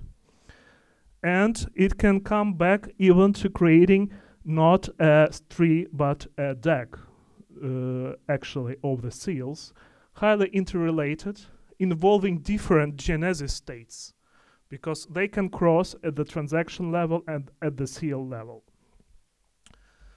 So now we basically have a sharded DAG on top of bitcoin blockchain. Sharded DAG of the uh, client validated state for rgb it's form of sharding made right, not at the blockchain level. Uh, these shards can cross-sect when we have a shards from different genesis states. So each genesis state defines its own shards, and sometimes they can uh, merge at the level of the same seal. And this is important thing how the client validated state diverge from the single use seal because single use seal is a very specific primitive when you have a single seal, something and a single message, you close the seal over. Uh, so we have to address a few points here. First, how we will define the state data. Yeah. Ask,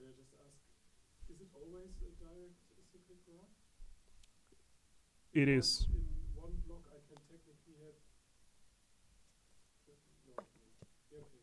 Yeah, it is always. Uh, we need to address how we will define a state data and we need to define how we apply a single use seal concept to this DAG variant, where we ha can have a transaction spending multiple transaction outputs associated with different seals. Uh, a transaction may contain multiple defined seals, and these seals may be created under multiple independent genesis states. So they are all like cross-sect. And the problem here is that, as you remember, let's assume we have a transaction. This transaction closes the seals originating from different genesis states. And it also, uh, it also has to commit to all those seals under different genesis states with a different entropy level. And it can happen that some of them will require a commitment to be placed in the same transaction output. But at the transaction output level, we can commit only to a single message, as you remember. We have designed all that structure to prevent double commitment, meaning that we have to pack the in, in related state into the same structure, into the same message, forever merging independent uh, histories and leaking the privacy at very different levels. So this problem can be solved only with a zero knowledge proofs. And that's why the third part of our sections is related to zero knowledge, how we can utilize it to prevent the transaction, the, the information, private information leaking at the level of client validated data of chain. Uh, and I would like to start with explaining a bit uh, background on what cryptographic primitives we can use for zero knowledge. I will start with the Pedersen commitments. So am I sure that we have like half an hour before the lunch? Uh, am I right? Okay. Uh, do I need to slow down? Okay. So Pedersen commitments. Uh, what are they? We already know what is commitment. We can embed them into some containers. Uh, a new primitive in the commitment uh, sphere is the homomorphic commitment. So, if we have two commitments and we sum these commitments, we will receive the third valid commitment to the original two facts. So, the commitments which we can add on arithmetically and still receive uh, a valid commitment. That is a Pedersen commitment. Uh, prover can prove to verify that uh, some function over a set of commitment, a linear function over a set of commitment, is valid without providing all the original facts. Uh, it works under the DLP assumption. So in terms of zero knowledge, it's quite uh, good because uh, most forms of the zero knowledge, they are probabilistic, meaning they are not uh, they're working under the weaker assumption with a some certain probability. And it will be correct to name them not zero knowledge proof, but zero knowledge arguments, while the proof is something that can be proven not in non-probabilistic way. So uh, the Pedersen commitments are operating not under the probabilistic assumption, but under the discrete logarithm problem assumption. Uh, so, am I right in this part? Yeah. All right hopefully. Uh, how we can construct a Pedersen commitment? We need to select a elliptic curve. We already stick to one with the Bitcoin and Lightning. We have no other options. We need to select now two generator points. Uh, previously we had a single generator points, G point G. Now we need to pick up another one, which is H, usually denoted. And how we the most important part that these generator points shouldn't be related. So we shouldn't be able to find a private key which connects, uh, which uh, converts G into H.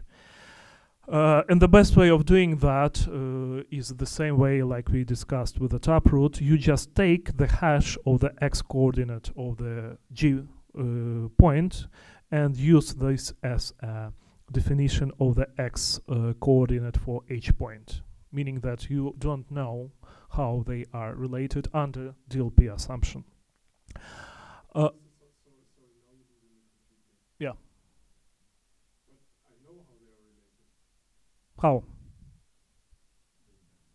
Oh, I don't know the. You don't know the private key. You know, you, so you basically derive them in a different way. You, you just picked random h point because this is a hash as a random oracle. Yeah. Uh, it is defined under the elliptic curve standard. Well, uh, the, the funniest thing that we are still not sure that uh, SECP uh, 256K1 uh, doesn't contain any backdoor in definition of the its parameters or generator point. Sorry. yeah, yeah, yeah.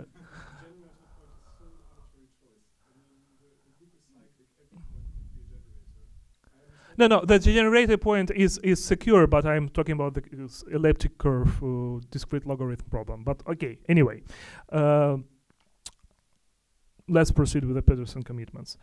Uh, to commit to some amount, meaning the some scalar value a, uh, we need a random to select a random blending factor x. And the actual Pedersen commitment is a public key on this elliptic curve appearing from the sum of two other public keys. The first one we create from the blending factor and the original generator point, and the second one from the actual scalar we would like to commit to and the h generator point. So the Pedersen commitment is the public key. And uh, because it is the public key, it inherits all that homomorphic property properties on public key additions, which we were discussing yesterday.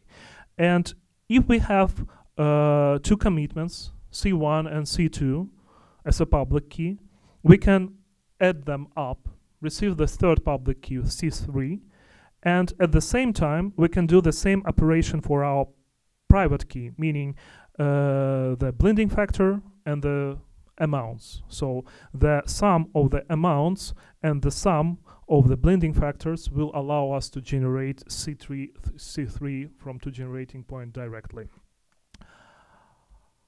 With this, Alice can prove to everybody that her transaction does not produce any new coins, meaning that you use Pedersen commitments to commit to the amounts, and you can prove that the sum, uh, sum of the amounts is equal to the sum of the outputs. Uh, sum of the inputs is equal to the sum of outputs, without disclosing each particular input and output. However, there is a problem here. Amounts can be negative. Why they can be negative? Well, because uh, with the elliptic curve, we have 32 byte integers, meaning 256 bit integers. Bitcoin amounts are 64 bit integers. So everything that is larger than 64 bits can be used as uh, interpre- interpreted as a negative number. And uh, we can do this maths. Like we sum we have two inputs one bitcoin each the sum of them is two and we have two outputs. One of them is seven and the other one is minus five. And we just have created uh, five bitcoins out from nowhere uh, so the, the Pedersen commitments are not working by themselves. So confidential transactions working with the Pedersen commitments had to add a range proofs. Meaning, what are the range proofs? Is uh, ability to prove that the actual number under the Pedersen commitment lies under the certain range. And there are two existing ways to construct the range proof. The first one is uh, Borromean, Borromean ring signatures for, uh, for range proofs, and the second one bullet proofs. And uh, originally, the first one was used uh, in Monero. The second one is a part of Mimblewimble, and Grin for now. What are, what is the difference?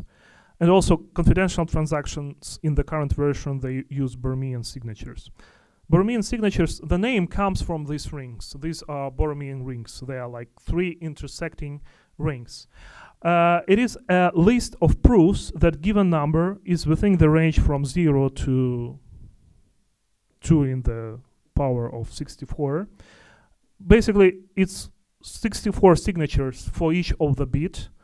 Uh, and on top of this signature, we apply a multiple optimizations to reduce the size of the proof. I'm just giving very high level uh, description. The actual mathematics is more complex, but the end result, we get a really large size of the proof, that the original uh, that the outputs are within the range of normal Bitcoin amount.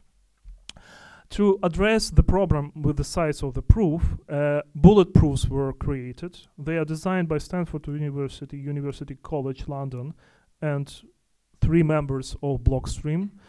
Uh, they are non-inter- non-interactive zero-knowledge proofs that require no trusted setup. So you already heard about ZK snarks.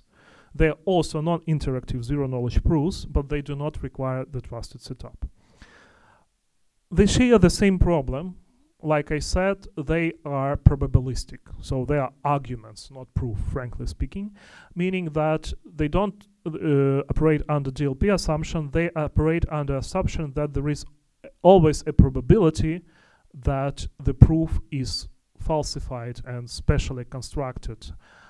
It is a small probability. You can compute this probability. Uh, however, you need to take the risk with these proofs. Uh, also, verifying bulletproof is more time consuming than doing verification for ZK snarks. Uh, so, comparing to the uh, to Borromean ring proofs, they are smaller. Comparing to ZK snarks, they are, do not require a trusted setup, but they are require more computational um, power to verify. Uh, they right now they are already used in Monero and Mimblewimble, uh, and they are planned to be a replacement of the Borromean range proofs uh, with the next version of confidential transactions. Uh, they're so efficient uh, because additionally to the space efficiency, bulletproofs uh, can be very efficiently aggregated across many inputs or across the block. So for instance, if you use a bulletproofs to shrink the size of cryptographic proofs for confidential transactions, you can reduce it from 10 kilobytes to 1 kilobyte. So it's 10 times more efficient than bulletproofs. And unlikely, uh, uh, oh, sorry, mm, 10 times more efficient than uh, range proofs. And unlike Borromean range proofs, they have multiple applications outside of range proofs. So bulletproofs can prove any uh, arithmetical circuit, meaning that you can use them to prove anything that can be converted into mathematics. Not only range proofs, but nearly everything. Uh, and the plan is to use the stack of confidential transactions, replacing Borromean ring signatures with uh, uh, bulletproofs and adding Pedersen commitments. So by using that, we can hide the amounts of the assets. Because with the state transitions, uh, each owner will see the whole state defining uh, and the state of all the previous owners because he is he has to be able to count all his coins from the very beginning that nowhere on this road the new coins were created. Meaning each time you transfer your state to somebody the new owner will see your ownership structure and the structure of all previous owners. With the introduction of uh, Pedersen commitment and bulletproofs, we can make this information as confidential as they are in the confidential transactions and as compact as it is in uh, Mimblewimble. Validated data, yeah, yeah, yeah. So, yeah, it is. It is still a large volume of data comparing to what is usually stored on chain, but we are not storing that on chain. That's the, that's the happy point. And uh, by joining the best of two worlds, uh, confidentiality from confidential assets, confidential transactions, Mimblewimble, and uh, client-side validation from what we are developing, we can get the four dimensions of privacy. The first one, we will hide the amounts from everybody. The most of people wouldn't know even about existence of these state transfers, uh, but uh, those who will own them they wouldn't know anything about the amounts. They will be able just to count that the nowhere on the route from the genesis state to their owned uh, state, new assets were created.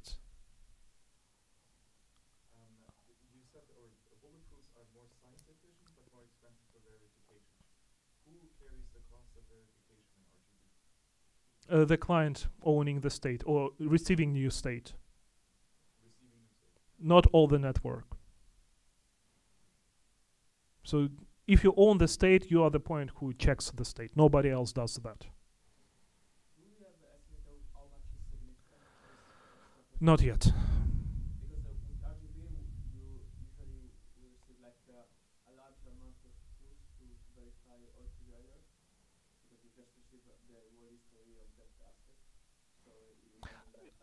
We, we, we. Yeah, with what I will be describing uh, later, you will only need because we will we got rid of all the data as much as possible, unrelated. So you get the linear structure, uh, well, actually a graph of all direct routes between the owned asset and single genesis state, and you need to verify through each of those routes that nowhere the new assets were created. It is large, but it is significantly still smaller than the size of blockchain. Yeah, it's mo- it's smaller, but the blockchain I used to Ah. verify like the, uh, when I receive a transaction, I already verify some stuff, so it's, it's something that you can do like over time. Yeah. RGB, I have to verify everything like as soon as I receive the transaction, so it may like create a lot of delays. Uh, when, when Well, I, I don't have estimates at this point. I, just don't know. Uh, well, what we are what we are working on, I asked, uh, which also appeared to be very complex to compute. I asked the graph of the USD tether uh, over the last few years, at least on Omni protocol. It can be extracted from the public source data, so we will know the average length from the issuance and how much, at least pieces of state transitions we have validate. And when we will know the average size of state transition data and the average time to validate, we can just multiply them and get the estimates. So for now, uh, it's hard to tell.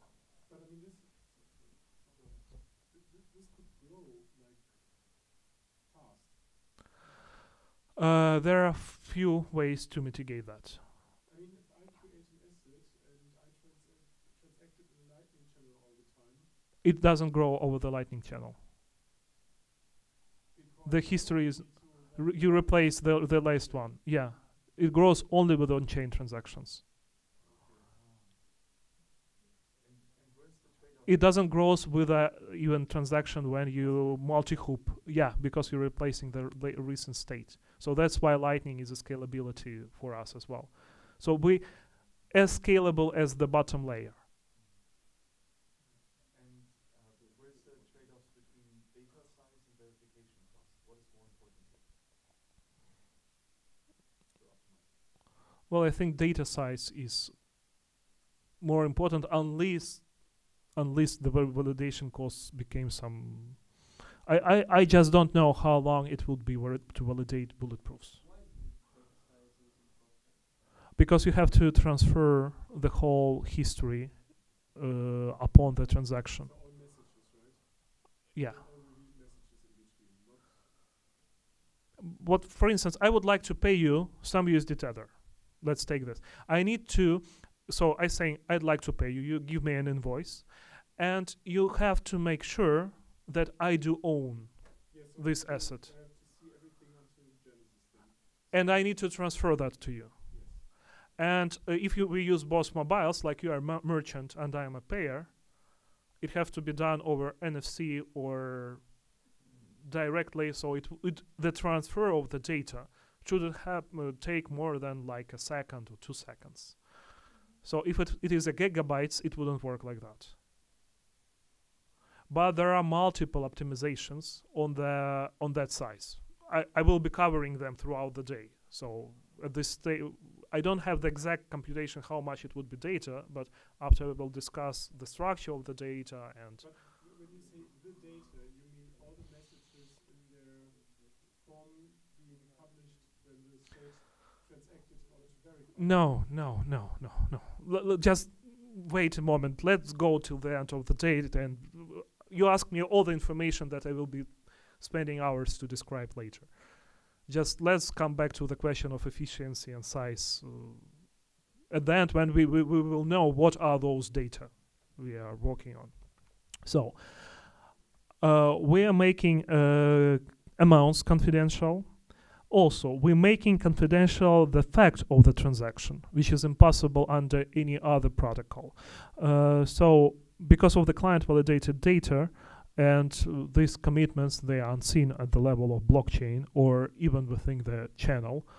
Um, also, we, you know, that we define the transaction outputs as a seal definitions. So mainly, you will be able to see as an owner of uh, the asset, you may be able to see all those who own the asset before you what addresses they were owning on the Bitcoin blockchain. So with the plain proofs, you will leak some confidential information between the ownership of the addresses linked to the ownership of the assets that you own. Uh, we can significantly reduce this leak because uh, all those seals uh, will be Merkleized. So you will see only a direct route and not all other outputs that were receiving some assets from the history. And finally, if you own different uh, assets of different genesis states, uh, coming from different genesis state, and you transfer them further, you don't link those histories, and you can commit to multiple transfer, not disclosing which particular assets are you transferring. And this is done with another form of Pedersen commitments uh, and uh, encapsulated multi-asset transfers, which we will be starting covering right now. So, what is the problem with that? Uh, Bitcoin transactions closing multiple seals over multiple asset transfers, I would name this more simply, or not messages, but asset transfers, they are linking unrelated proof histories from different graphs into a single graph forever. So let's assume I'm getting Apple shares and um, USD Tether under the same transaction output. I do I have the same transaction output and I would like to allocate both of them there. At this moment, uh, whenever I would like to transfer USD Tether or Apple shares further, I will have to disclose to both new owners both of the histories. So I wouldn't receive USD Tether, but now I receive the history of USD Tether plus the history of Apple shares, which I don't need now to know. And this like growing like a snowball, the amount of off-chain data. So we have to separate those together. They shouldn't be related anyhow.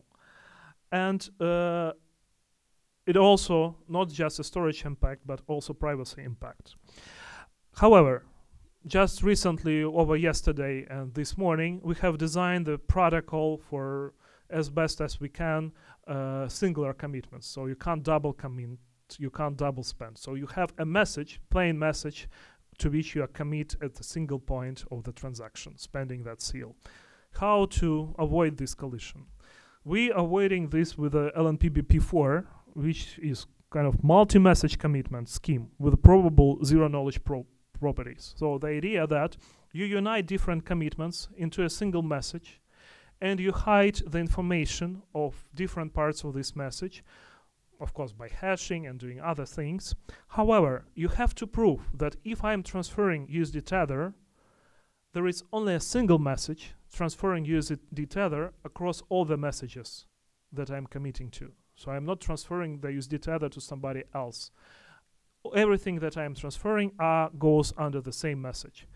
And I also don't want to disclose what other assets do I own at the same moment. So I would like to commit, I would like to prove that there are no other transfers, but I do not want to disclose what are those other transfers and what are the, those assets. And it is possible to be done with the Pedersen commitments, but it requires a specific uh, protocol which is not standardized and not existing yet. Yes. Can you please repeat that? You want to prove that you do not have other assets in the CPXO? No, no. Let me draw it.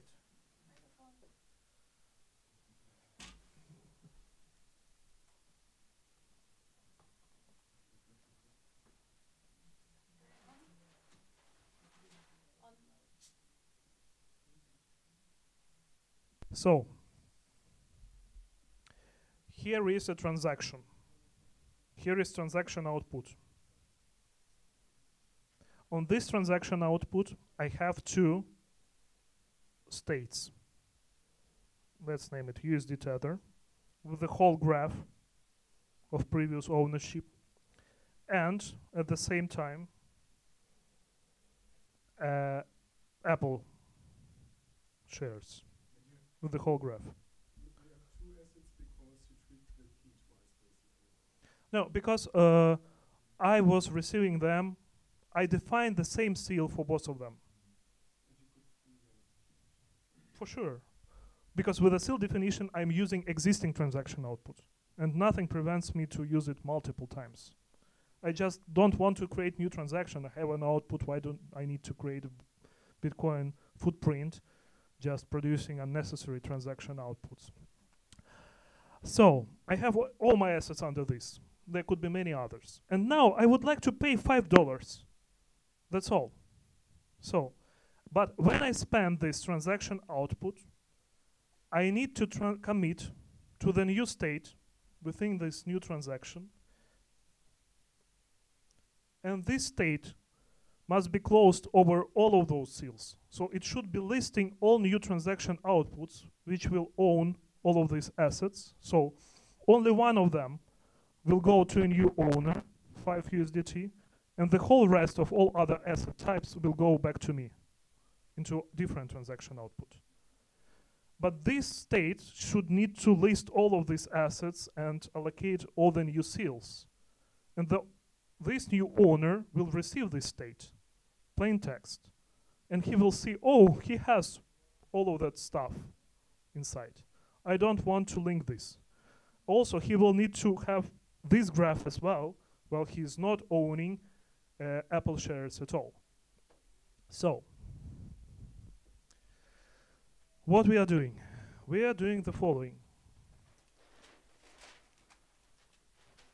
For each asset, meaning Genesis state, we create a separate state message listing all the seals. So we have multiple, in this case two, state messages, state data structures for USDT. It lists two new transaction outpoints, one for 5 USDT and the other for the rest, which is mine. It remains mine. And Apple. Again, only me.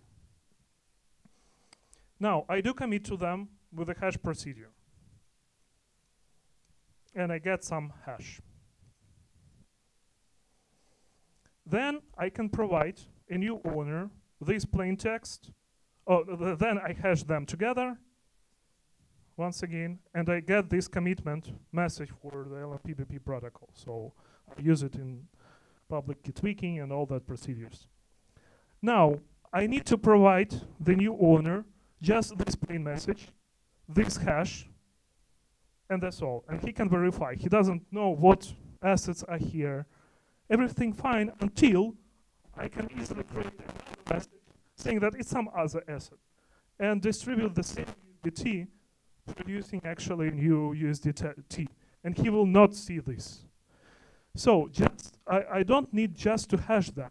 I need to commit and prove that these assets are of different type.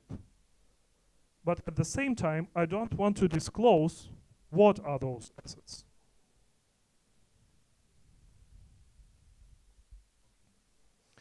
How it can be done? Well, each asset or genesis state will have some ID. Anyway, name whatever, and we easily convert that into 256 bits with a hash function. So each asset is a number, large number. But this large number exposes which assets do I not own. So what I do, I do a Pedersen commitment to those numbers, like to amounts. It is not amounts. But now I need to prove, because I'm using blending factor, and it will be different for different commitments. It's I can't just see that all the Pedersen commitments are different. It doesn't says anything. What I'm doing, I'm doing, I will explain the logic and they I will go into the protocol details. What I'm doing, I'm doing the like minus x2 multiplied by x1 minus x3 multiplied by x2 minus minus x3 if it is zero basically some of them are similar so the, the mathematical logic behind that there should be no pairwise zero difference in the original number of assets but I need to count on blending factors how it can be done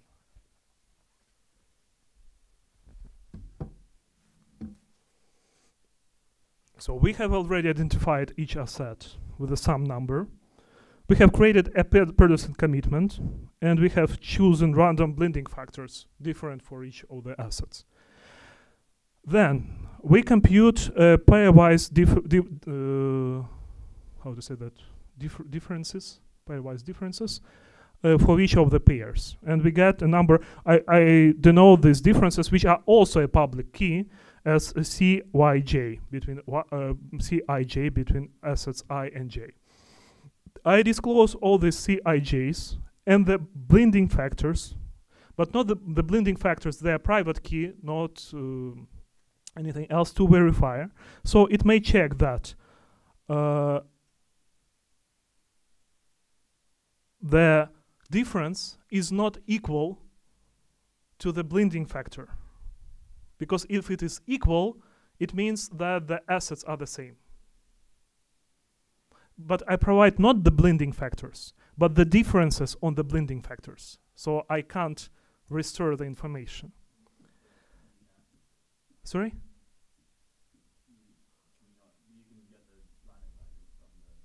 From the differences? Probabilistically, you mean? Not sure. you do, you give me d1 minus, or dj, d1 minus dk, d2 minus dk, d3 minus dk. I can just, like, I can just substitute and get. Not sure. There is. mm, Like if you know one, then you can go and know the others, but you don't know any of those. So can I not just do, um, subtract two together? Where?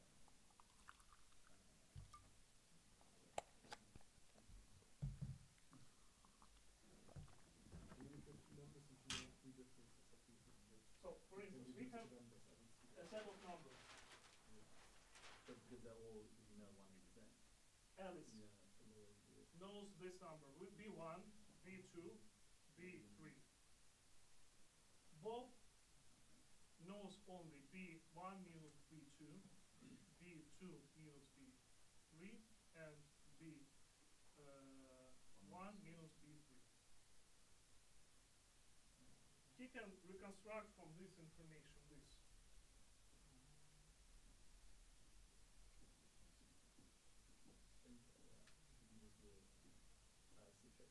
one minus, uh, you can get B1 plus b three. He doesn't know B1.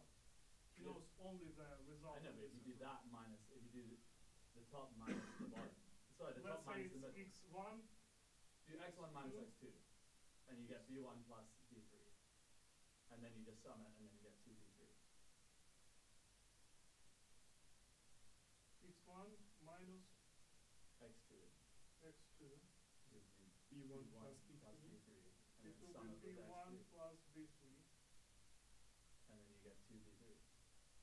that plus X three, Yeah, then you get two B1, two B, uh, two B three, two B1.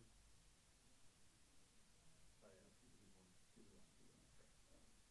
So And then, uh, b1 plus b but yeah, and you have it, uh, and you can do the same for of plus b1 minus b3 Two B1.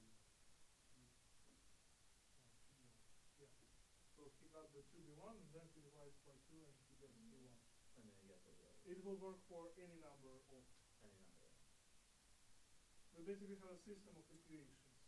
Yeah, you've got, you've got three equations with three variables, so ignore the middle bit, or and with and. But I don't, uh, but I still have enough equations anyway. So if we will have three variables, we have not four equations, but we will have more equations. Even more than four. If you have more than, yeah, Yeah, so it will be always enough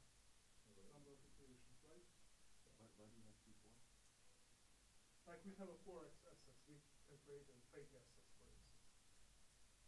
Which, by the way, that might be a bit off topic, but might be relevant. Um, even if we have a Merkle tree of assets, we can deduce some information about the depth of the Merkle tree. But it's not Merkle tree. One step before, uh, on the other slide where you, where you, uh, yes, exactly. Here you have two leaves with the USD tether and the apple share and It's blue not, it's just linear structure. Oh, it's a linear structure. Yeah. Oh, okay. Okay, then you, then there's no problem. So it, it's the structure that will wo- doesn't work. It doesn't matter is it linear or Merkle tree. It's the problem we're trying to solve. Ah. And the question is, can we solve this problem with some form of Pedersen commitments and mathematics applied to it?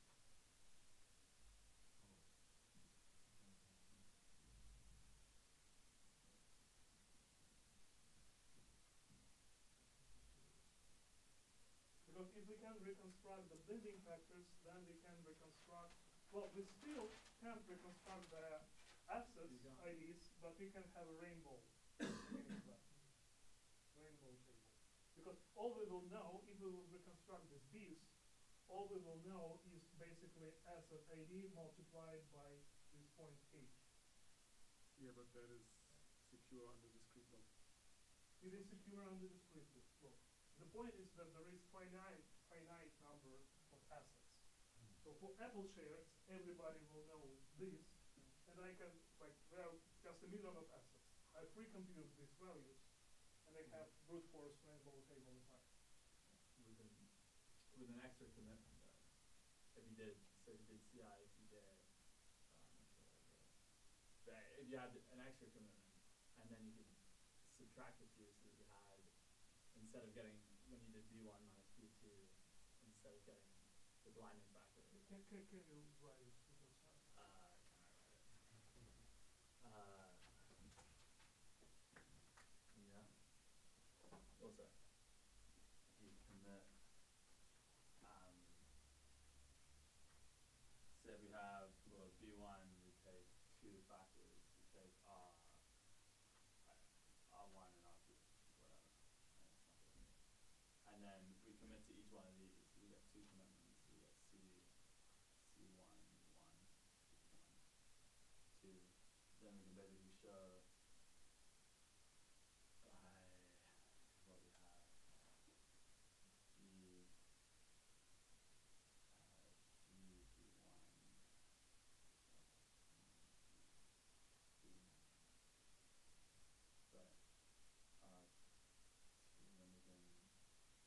then we if we divide it then we can show that this is uh H R one minus H. So we can basically prove that and then we can prove that we know and then the only way that we know R one minus R two is that So, so what, what are we proving and what are these numbers So just these are separate. Yeah, I know. Sorry, these are separate commitments to to what? to, to the same value. To the To same value. value? To To B B or one. to To I? B one. To B one. It's so a blending factor. Oh, okay. Well, whatever the asset is, whatever the Yeah, so we have a commitment, uh, Pedersen commitment.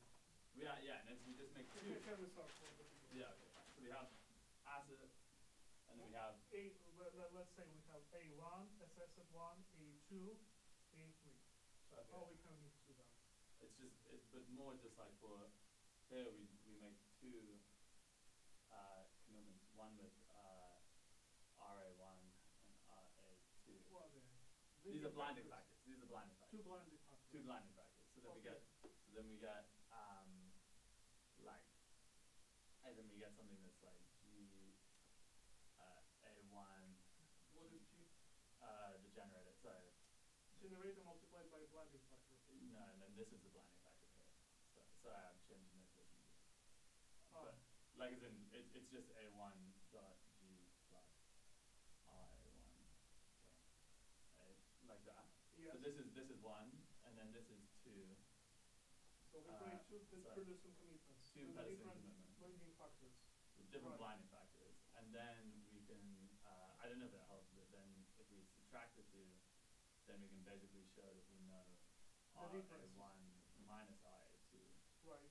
And then if we could formulate the math, the, the proofs in terms of RA1 minus RA2 because it's all homomorphic, right? So you could, so maybe there's a way to Yeah, I got do that, your idea.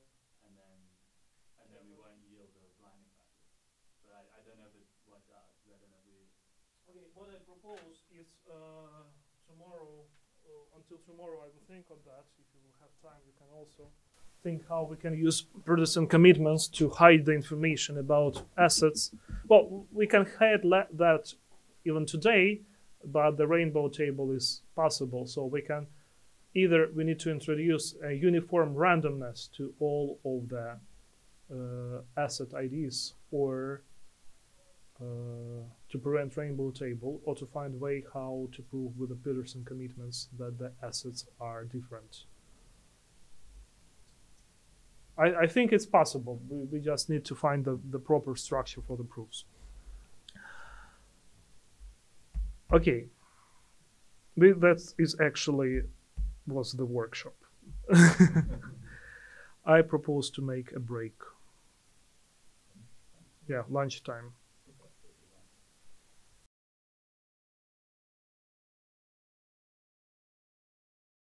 Okay, uh, so uh, the next part will be state transition details. So we dig into what is the state, how it is defined. Uh, before that, uh, we had this discussion on the LNPBP how to separate the privacy of different assets. I would like to recap that we, we still have to design the protocol for that, maybe based on Pedersen commitments, maybe not, but even without that protocol, uh, for the most of the cases, the asset information and history do not leak because with each protocol, with each asset, we have a protocol specific entropy. And it allows us to put uh, the commitment to the new state under different transaction outputs. So these graphs will run in parallel and they pass uh, through the transaction on through the different transaction outputs. And you can even play with a number of transaction outputs just to separate them. It is the first thing not if so there will be really rare cases when you wouldn't be able to do that. So if you spend a seal, seal with multiple assets you have to commit to the new state under different transactions output and you have sufficient way of doing that. If not uh, which would be a rare occasion we still rgb still will require much less space than blockchain. Uh, there will be no problem of intermixing on lightning channel at all. So if you do lightning channels the problem is not there uh, it is RGB is more private than uh, blockchain or even confidential assets, even with this problem. Uh, but of course, as a cypherpunks, it would be better to find a way for efficient zero knowledge asset hiding, even in such rare cases. Okay, so let's go back to this transition, state transition details. So how we can store this off-chain state transition information? Which kind of data we need to have there? First of all, we need to list the new defined seals, namely transaction output and uh, transaction outputs, uh, transaction IDs and number of outputs. We need to define an associated state bound to each seal. For instance, in case of the asset, it is the number of assets owned by each transaction output, owned by each seal. We can potentially add a script associated with the seal of the whole state. I will describe this part later. We will think about whether it is a good idea or not. And there should be also metadata covering all the seals. Well, we don't always will need a metadata, but in some specific cases, like for instance, uh, initial issuing of the asset, we may define uh, with the metadata the name of the asset or provide other information which is not seal specific, but is specific to the protocol or to a specific uh, set of seals. So, uh, let's go then through the seals, through the metadata, scripting, and the state at- attached to seals. Let's start with the seals uh, and the state. The state should be always bound to a seal because it is an owned state and it is owned by the owner of the transaction output.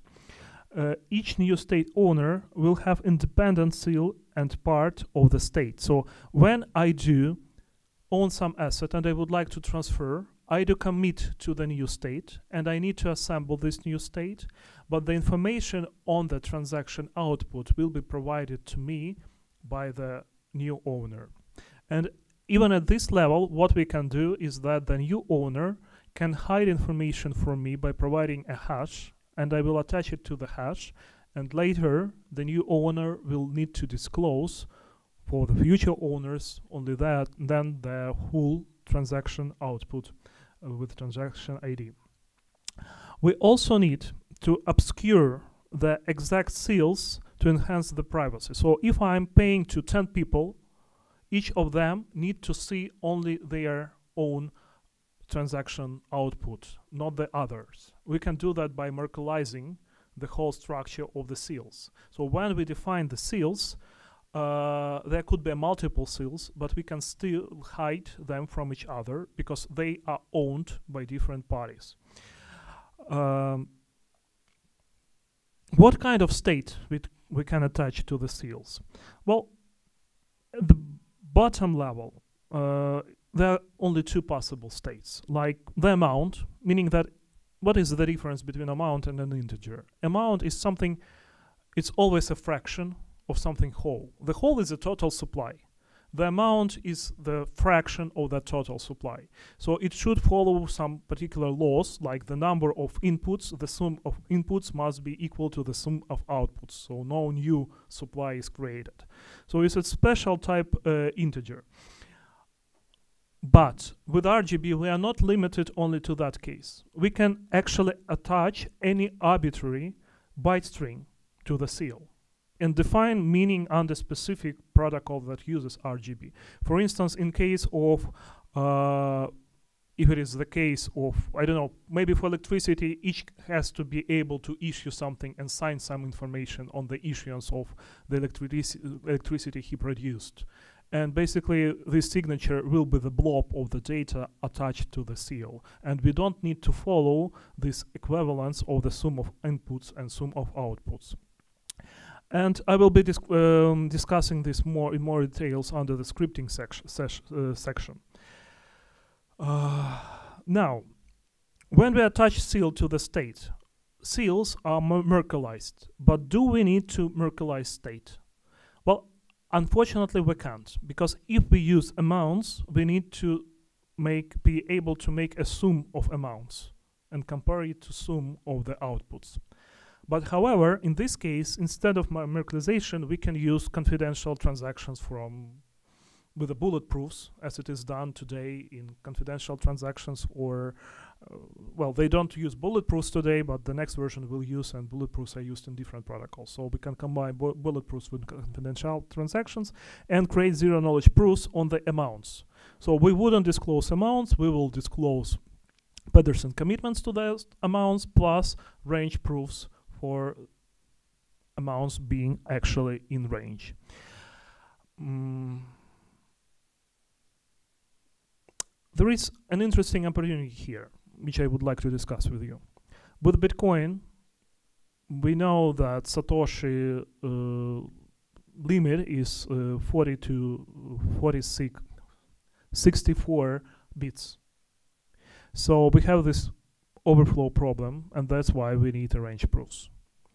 With RGB, if we define a state as a new type, we can define it as a 256-bit integer. And then we wouldn't have an overflow problem, as I assume.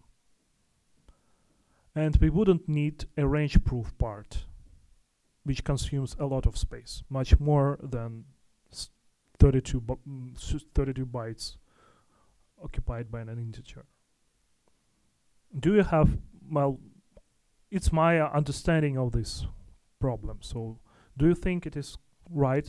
So can we get rid of the of the range proofs by just sp specifying that any amount should be a 32 byte integer? So we can't run into overflow condition and don't and we wouldn't be able to double spend and issue new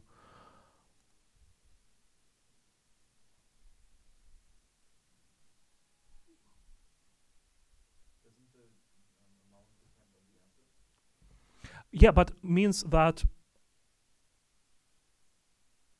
mm,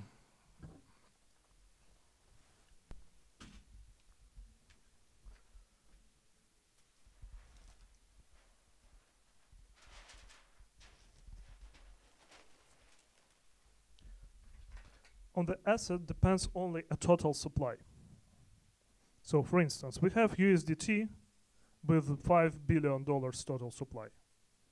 But they are split. So we need to the input is five the first state transition, which is Genesis state, input is five billion, which can be presented as a U uh, to 32 byte integer, and the output should be equal in their sum. But it all it is also U 256 integer. And we can't put minus 5 because it is unsi- uns- unsigned. You, you see the point? Because persistent commitment as a private key, it requires a scalar of 256 bit. And if the amount is the scalar of that scale, you can't fit negative values there. Meaning that you always be sure that the sum of inputs equals the sum of outputs with Pedersen commitment without any range proofs. And still, because amounts are Pedersen commitments in confidential transactions, we already have a 32 byte integer. So we don't increase the size of the actual amount field at all. We just get rid of the range proofs. And with that, we are moving from the uh, probability zero knowledge problem. So we can't, because the most of zero knowledge protocols there, they have the probability assumption for their security. ZK snarks and confidential assets and confidential transactions, they all have this problem. Now we will rely only on DLP assumption of Pedersen commitments, which is already relied on bit in Bitcoin and everywhere. The question is, do if anybody of you knows the details of Mimblewimble, because Mimblewimble still utilizes the range proofs, why they didn't stick just to the same solution? Maybe there is some something that I just don't know and which prevents us from avoiding any range proofs at all. Okay, let, let's leave that as an open question because it's, it's a very good optimization point.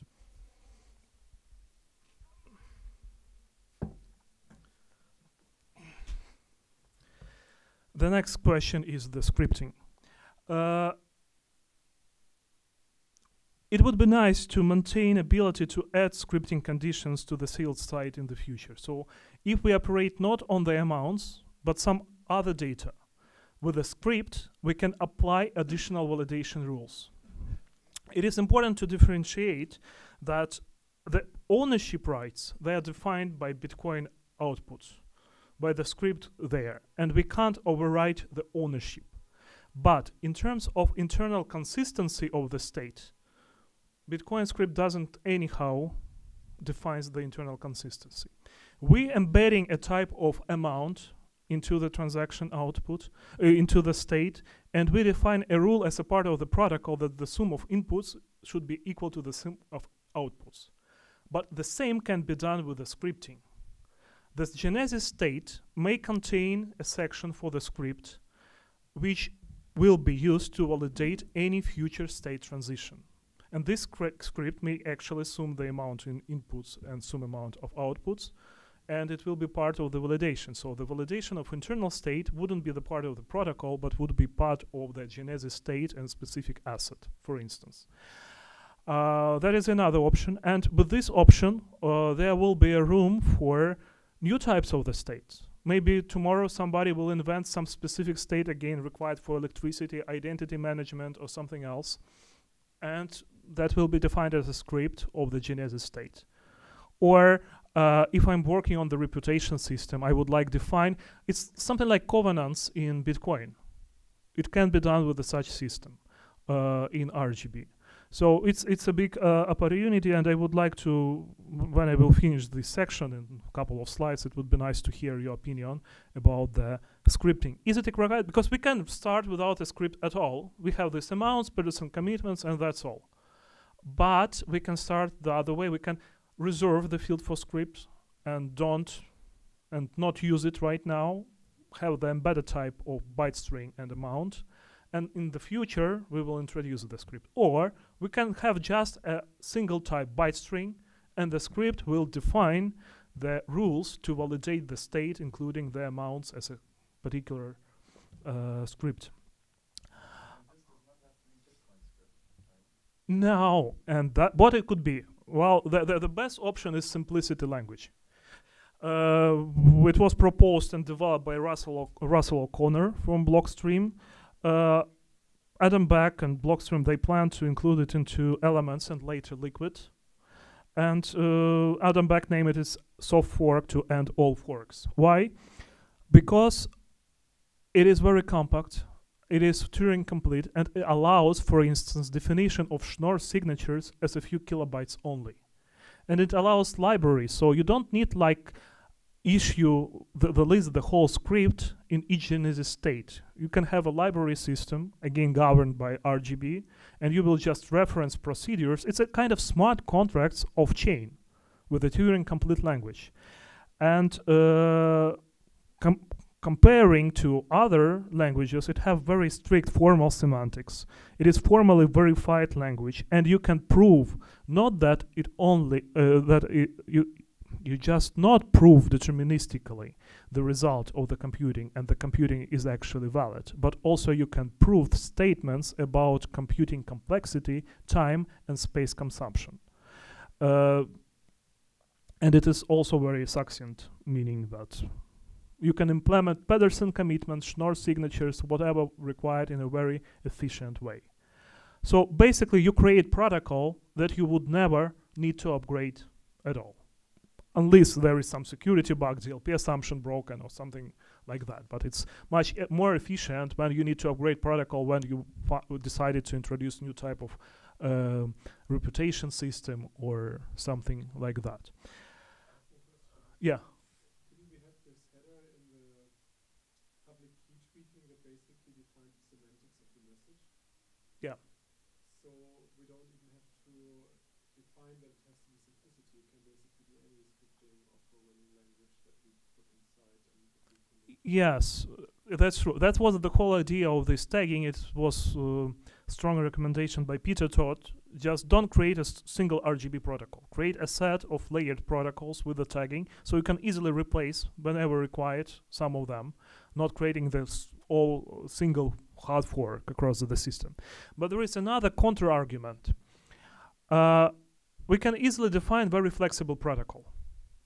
Uh, but we can get into the Ethereum problem when you have too many complexity and freedom of choice for end users, so they choose not the most efficient way, but arbitrary one. And uh, if we think that there is a best practice, it should be encoded as a part of the protocol rather than allowing them. We can say that, okay, we have this tweaking procedure. You can now issue as assets underneath it. Whatever you like. Like just say, I issuing in text million dollars, and this is an asset. Like it's a protocol. So, but we create all these all details that there is a state, there is a seals, that there is a metadata, the rules between them, and and so on, so on, just to prevent poor practices.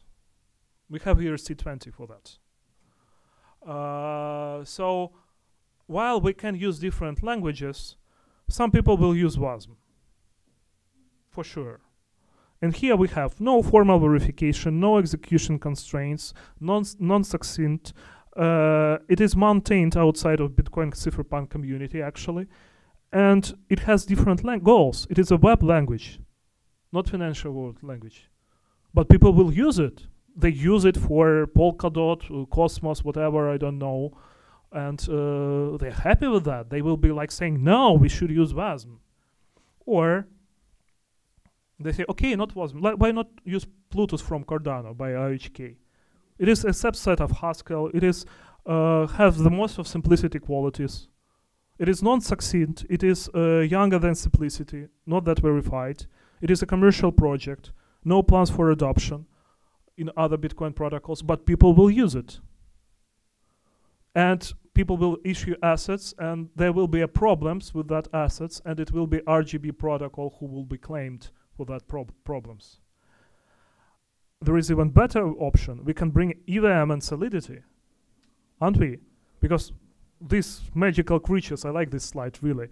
Uh, we have so magical world whisper swarm sharding turing complete accounts proof of stake plasma raiden erc20 defi apps uh, dao everything and it will come to rgb with this scripting tag and solidity and evm uh, so yeah the truth is just uh, we are coming out to be jealous for ethereum magic i know with rgb but uh, I think because we are toxic maximalists, we shouldn't allow uh, that to happen. Uh, yeah, it was a, a, planned, uh, you know, part to just get out of a lot of technical details, but let's let's discuss this scripting problem in a more details. Uh, Russell O'Connor, he is the only person in the world who understands it and Adam Back uh, were able to grab the general sense of what it is. Yeah. Uh, that sounds as a ver- very single point of failure, even if we compare it to all of those in that RHP has recently. I, I mean, the different. Okay. le- Let's list our options. Yeah, I I, I agree with, with this point. So our options are no script. We will have just amounts, and these amounts wouldn't be. We wouldn't have option of providing explicit amount or zero knowledge Pedersen commitment. It should be always Pedersen commitment. No other option for plain amounts. If you would like to disclose this information, you attach the disclosure. You ensure that they, it is committed as a commitment, but you shouldn't have we shouldn't repeat the mistake of uh, Zcash uh, when you have ability to choose confidential or non-confidential uh, because the government and the law will say you shouldn't use confidential it's illegal and people will have a choice if protocol can't use non-confidentiality that's that would be the single protocol that can be only confidential. Sorry? Yes. It is, but it's better to be legal completely than to be cut it into a different shape, which wasn't the. You you have ERC20 already. Why you need RGB?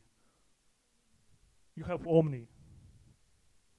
So yeah, well, it's actually it was discussed between why I'm presenting that like a decision because it's basically decision made uh, when we was discussing with Adam Back, uh, Peter Todd, uh, Paolo Ardoino, uh, Giacomo Zucco, and it's single voted by everybody who has who is financing and pushing this protocol for these years that it should be strictly confidential. If somebody wants to be RGB non-confidential, they can fork and do a non-confidential version. So uh, no script with the confidential assets. The second option is uh, have a reserve place for script. Uh, but provide amounts, well, basically confidential assets already today without the script. So they are validated with uh, some specific hard-coded way. Uh, the third option is uh, allow simplicity, but do well. There is no reason of if you have a simplicity to confidential assets outside of simplicity. And the third option is to allow other or multiple script languages potentially with a CAS out validated outside of the scripting. Uh, so, the risk with this simplicity is that it's not used yet. The good point is that it will be used in elements over the next year in this regard, and then in Liquid. So Blockstream is working on that. If Blockstream was wor- working on something, it's a high probability that they will finalize this work anyhow. Uh, because we have Taproot, it is also dependent on a single person, namely, or confidential assets. They were just depending on three persons inside Blockstream, and nobody else outside of the, them were understanding them. Uh, I would say that because we, we need to launch before Blockstream will finish the work on simplicity, uh, we we, we still need these confidential assets to be evaluated outside of simplicity. So maybe I will vote for this option, reserve play for the script, for the simplicity script in the future, but provide uh, validation rules for confidential assets embedded into the protocol. So, so because we can't do it right now with the simplicity. Uh, but there are other options. Uh, no script at all. Ability to choose the scripting language by the issuing party. And yeah, that's all. Three options. Develop and use language? so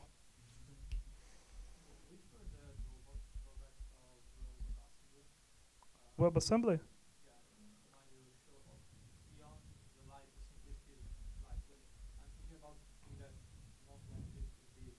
It's not formally defined. It's not formally defined and formally specified and uh, formally verifiable language. I can't prove statements about the code written in WASM formally with mathematics. So it's I, I do strongly believe that for financial world at least you can use only formally verifiable languages like Haskell subsets or specially designed languages like Simplicity. So I, I can't name the other one. That's my argument.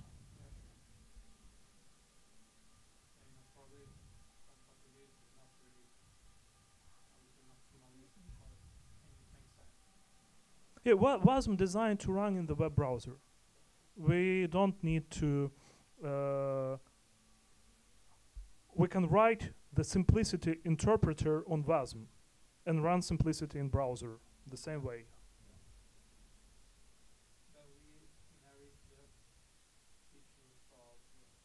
Of formal verification of simplicity. Yeah. So the, the choice is actually no script at all. Is there any words for this? Any reason why not to ever allow the script? Well, because we already have scripting capability of the base layer. So the ownership of the UTXO, and that's the. The, script I'm saying here is not related to ownership. It's related for validating internal consistency of the state.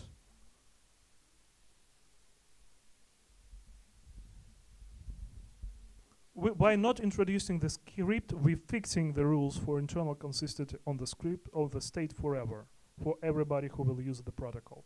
Right now, it will be lim- the use of the protocol will be limited for assets. Well, everything that can be the fungible stuff plus collectibles.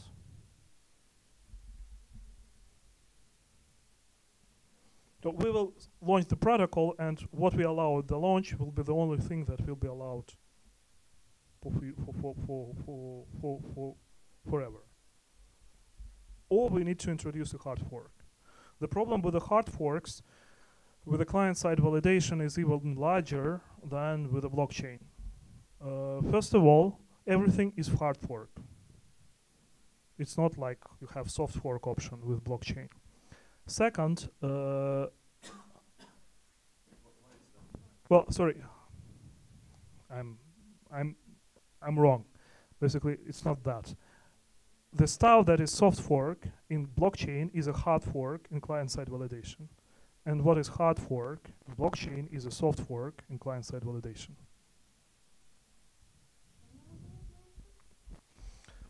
I'll try again. It's it's it's not my statement. It's it was the statement of Peter Todd. I was trying to understand it as well. I'm not sure that I got it completely. The idea is that the soft fork in Bitcoin is when we introduce in new functions that were absent but still can be can be successfully computed with the older version. Right? That fork is everything else. So when we upgrade the client validated state protocol and introducing new versions, uh, new things, for instance, scripting system, all the old clients wouldn't be able to validate these new transactions. You namely can't introduce anything new without breaking the protocol.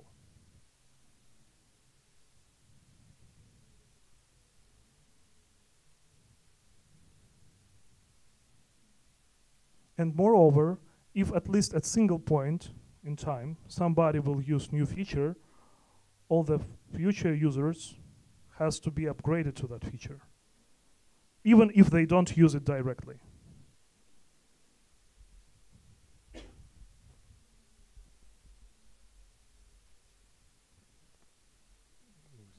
Basically, there is no, if you compare like that, there is no OP_SUCCESS. uh, Yes, yes, yes. we can partially solve this problem with these layered protocols and tact. But again, it will limit the problem to the level that you just don't know this protocol and you reject the whole story forever, even if it happened at some layer in the past. Well, you still isolate the most of layers with Merkleization and that kind of stuff, but Well, but actually, how about introducing something like OP_SUCCESS, where if you cannot compute it, it's valid. Then you can do double spend or something. If it can, if it's it's either valid or not valid. There is because we are not doing the script that should evaluate to some positive result. We are relying on Bitcoin script for the security model.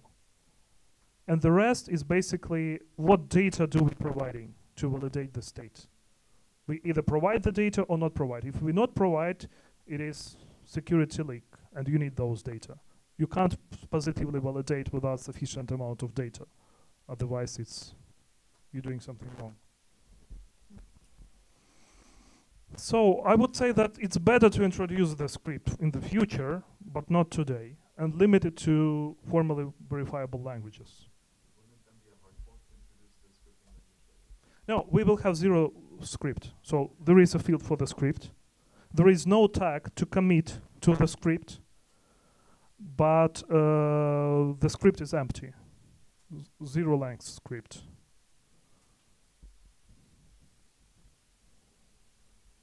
But you have to upgrade all the clients to be able to support the script. So it, it would be like if at RGB level everything is done, everyone can spend, uh, and then you only have the Bitcoin spending permission. Mm, yes. Well, not anyone can. Yeah, anyone. No, no, no. We, we are not saying who can spend. We are saying is the state is valid. Yeah. The state is valid until there is script which proves the invalidity of the state. Okay, so it's like the spending extra spending condition is empty. Yeah. Which is like anyone can spend in Bitcoin. Yeah. In that in that sense, yes. The point again, if there will be a software and the protocol is released and simplicity is not there, this software wouldn't be able to evaluate the script when it will be there. But it's it's easier because the software clearly has to be upgraded. It was already in protocol. It's just a new requirement Uh, that there is a simplicity interpreter required, and it's not in the software. The clients will be asking for that. So, so there is no alternative to that. Right now we wouldn't define the, the scripting languages so it, it would be like anything in future. No, no, we should define which language it should be. But it will be, we are not just using this language. Because we can't define it in future, like there is no organization that can say that all issued assets now can use simplicity of that language. It should be known at the moment of the issuance. So if tomorrow USD Tether will be issued, it have to be with the simplicity language accepted, but zero length of the of the script.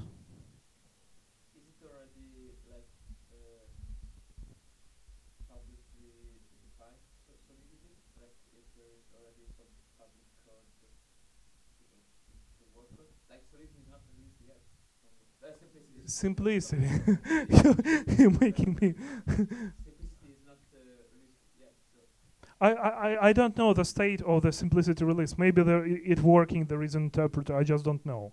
So I probably because what I'm planning is to talk more to Blockstream guys to understand the points at which we can collaborate on the RGB and confidential assets. If they're planning to add simplicity to Liquid, to confidential assets, introduce bulletproofs, and potentially use uh, client-side validation, which will be the RGB, in fact. I mean, I, I'm not saying that it will be the same RGB, but they will be basically assembling the protocol with the same requirements and the same set of the technologies. So, and this for sure, because of client-side validation, would be able to work on Bitcoin. We will be, so the, the idea is that what we was discussing with Adam Back is just to come down. We need to demonstrate what we have with RGB. Then we'll, they will review it and say, okay, we are fine. Let's work together on the implementation and or just let's change it here. Here we have that arguments. So if they are planning to do simplicity, it wouldn't be like we are trying to do simplicity instead of them. It's like they are doing simplicity not just for liquid but also for for the other stuff.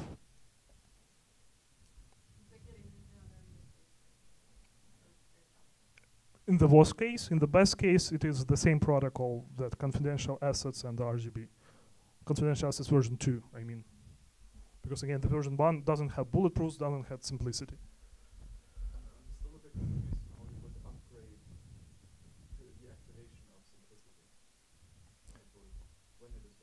There are two different upgrades we need to distinguish.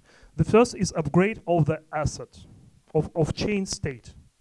So if you introduce simplicity at the very beginning, but just empty length, it means that there is no upgrade on the state. The issued assets are valid under the protocol.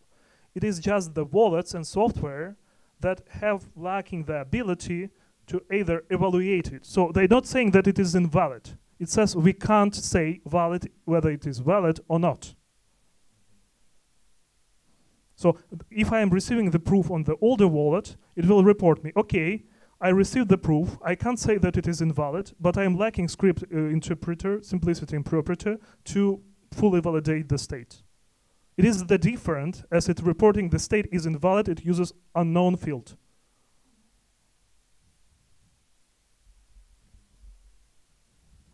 So the first implementation of the wallet should be aware that at any moment there could be a script. But to be a- make them aware, we need to define it at the moment of the protocol launch. I mean, that's the differentiation between soft fork here makes sense. Because you, you can succeed. It's not fork. Yeah, it's not fork. Yeah, And you cannot succeed in the computation. It's just cannot yeah, yeah. Like with the Taproot, we, we embedded Taproot, but it's not there yet at all. But when they will met Taproot and they don't have a part to evaluate Taproot, they will say, okay, I'm not sure saying that it is invalid, but it is Taproot. I don't know how to work with the Taproot. It's the same problem like Wallace unable to work with the back 32 addresses. So it's not soft fork. It's not hard fork, I mean. They're just not supporting this part of the stuff. So let's put it that way. Are there any arguments against this route? So first of all, the language is defined as simplicity, not any other language. Because I just know the only other language which is Plutus. And I wouldn't say that it is out there yet as well. Uh, and the second, uh, should we add it from the beginning? Which language do they use in Liquid? Bitcoin script with a another opcode. So they uh, redeprecated. So their codes were deprecated, like concat, uh, add, subtract, and so on. They allowed them back, and they introduced new opcodes for confidential transactions, Pedersen commitments. Uh, no, as far as I know, because there is no specification on this NOR opcodes. What, why not being compatible to Liquid? In which way? in the language? Because Also, if there's already assets being created and maybe you want to be able to no, no, this language is not used for asset creation. It's it's Bitcoin transaction output, so it's all Sure, sure, sure, sure, sure. But the assets on Liquid, they don't have scripts attached to them. no. Okay. So it's basically the no script version. Yeah, because uh, they, they, they, they have nothing other than amount. There, there are no other conditions that they can limit. Here, if we wouldn't, if we would have something in the future that is not an amount, like a reputation system, we need some restricted, like in internal validity conditions. Are there any, I mean, of course there are, but what are the risks of having such a broad language like simplicity? Well, it's not broad; it's less broad than the Rust. So, if we will impl- implement zero knowledge on Rust, there is more risk if we implement that with the simplicity, because with the simplicity we can formally prove that the implementation corresponding to the actual zero knowledge specification. With the Rust, we can just hope that we wrote code correctly. So, the more business logic we will move on the validation of the state from the Rust into simplicity, the better it is other than nobody knows simplicity to do it right now.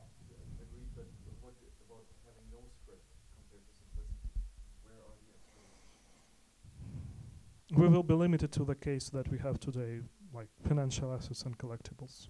Yes, Yes. There are also more. Well, uh, uh, there are also all risks because our zero knowledge part will be forever implemented in Rust. And if we will find any problem, we can we can't do anything. Like back in the implementation of the all specification problems. So simplicity when we have wi- wi- without simplicity, all the protocol is defined at the RGB protocol level. With the simplicity, less stuff is defined as a RGB protocol, more st- stuff is defined at Genesis state per state history. So basically, if something goes wrong, USD Tether will be able to reissue new Genesis state. Say everybody is giving me who is giving me back that wrong USD Tether, I issue under the new Genesis state a new version. And RGB protocol shouldn't change at all. They just replace state script in the Genesis state.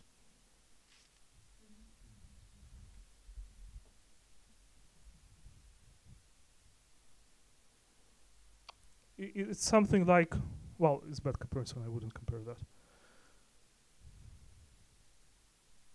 And if simplicity is a poorer language than rust i wouldn't recommend that. It's like if uh, ethereum was written on rust and go and the solidity is worse version there is no reason of moving the business logic from rust into the solidity scripting.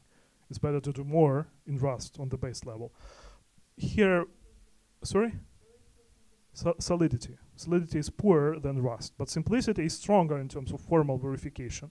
So the more logic we have there, more sure that it is implemented at least at the correct way.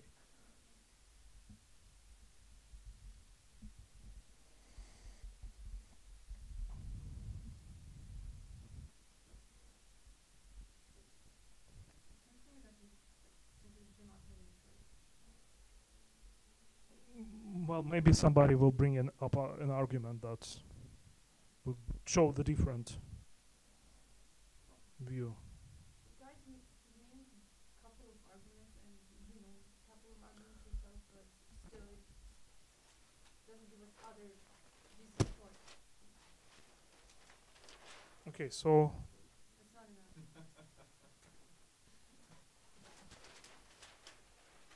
oh, But seven. Uh, CA valuation plus simplicity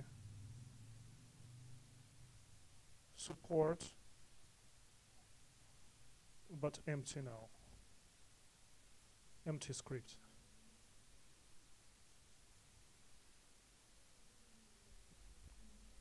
Yeah. That's the result so we do Pedersen validation of the amounts, Pedersen commitment validation of the amounts at the level of the protocol, RGB protocol. We know that there is an amount field and byte string field. but we don't validate byte strings, and all these validation rules will be defined by simplicity. And we can put it in even other way.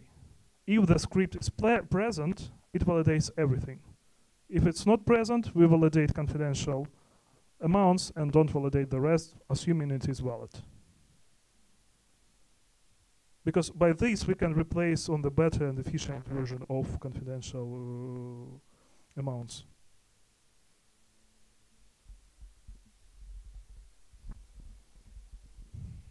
Right? So no script, I mean empty script, means that it validates to success. And then every we add additional validation for confidential amounts. If there is a script, we don't validate everything, anything. Script validates all the required data. If it succeeds, the state is valid. If it fails, the state is invalid. If it is present. If not, by the rest. I mean by the core library. Do you need a version tag for that? No. If, you, if, if there's an upgrade to simplicity? There is no upgrade to simplicity. It is already there. There is no just interpreter to run the script.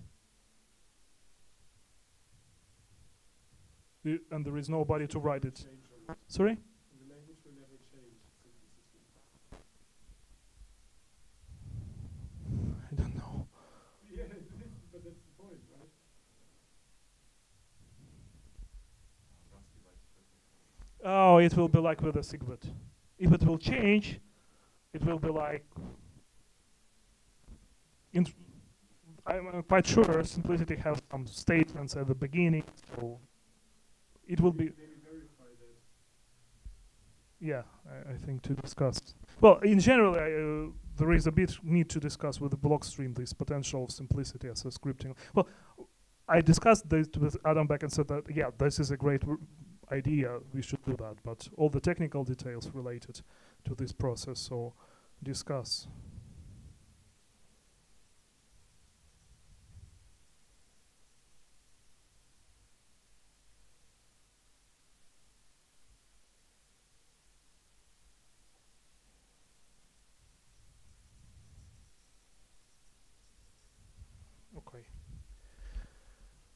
At least we would not delay the RGB because of the simplicity with this route. This wouldn't this discussion wouldn't take long, but we at least will understand how we can do that in the future, meaning that we we are ready for that. I am reiterating once again. So there is zero script. If there is no script, zero length script field, we evaluate with a known confidential asset rules as of today. If it is not empty, somebody, there is interpreter already and people who are writing the code, the interpreter will know how to inter- interpret this simplicity and it will either evaluate to true or to false. So if there is something wrong with our confidential asset code and the simplicity is out there, Bitfinex can just issue a new Genesis state with a script implementing validation and migrate all the assets on them. If there is a script in the field, is there any data in the CA valuation field? Not if there is a script. But the script is in the Genesis state. So the idea is that with the state, you have Genesis state, and there are meta fields in Genesis state. And one of those meta fields, these meta fields are applied to the whole history, future. And one of those meta fields is the script field. And this script, if it is present, it defines how to validate the state attached to the seals by arbitrary logic, which it defined. The, the normal state transitions, depending on how you define the rules in the Genesis state, they also may have a script.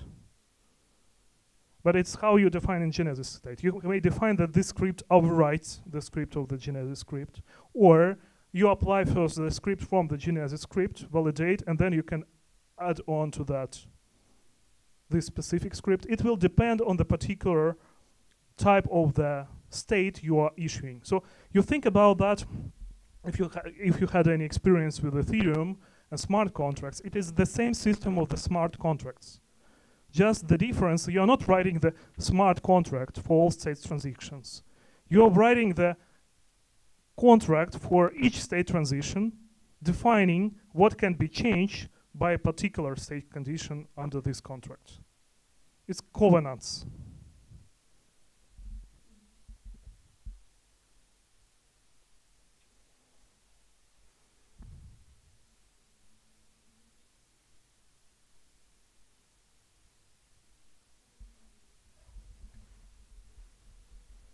So I think Yeah. So, like, when we will um, activate the um, the simplicity interpreter, so it will be like a software upgrade on the client. Yes, yes, not reissuance of the assets. Yeah, software upgrade- in the client side.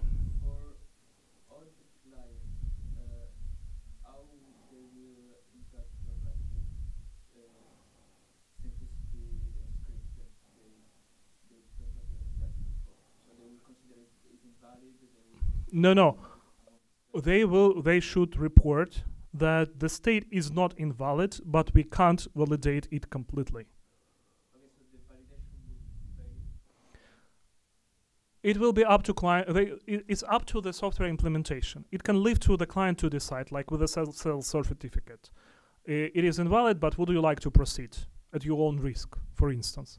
Or they may say, okay, we, we just don't understand it, or something else. But the point is that there is different level of uh, social coordination required to do a protocol upgrade versus software upgrade.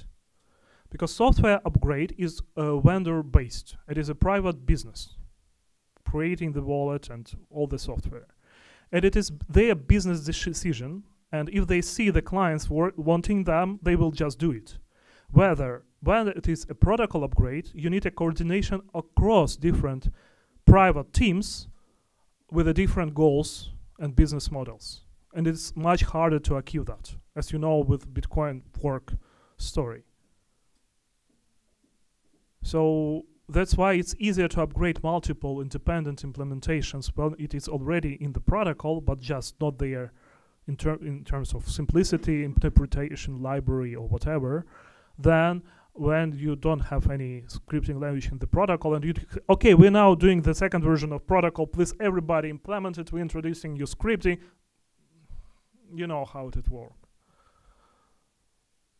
they are they will be aware from the day one when they adding support to RGB that the script in simplicity will be there, and they have to upgrade their software at that point. They are taking these rules of the play of the game at the very beginning. What if, in the meantime, something happens to simplicity and dependent permission? Can we withdraw the commitment that we made initially? That we It will be the same situation like with a uh, nSequence in Bitcoin. I mean, or time lock field, one of those fields. Yeah. It's not used. and then somebody else finds the way how to use it more efficiently. Okay, but then if we decide we will use solidity after all, then We need to do the whole social coordination on that decision. So it limits us from making stupid moves in the future, also.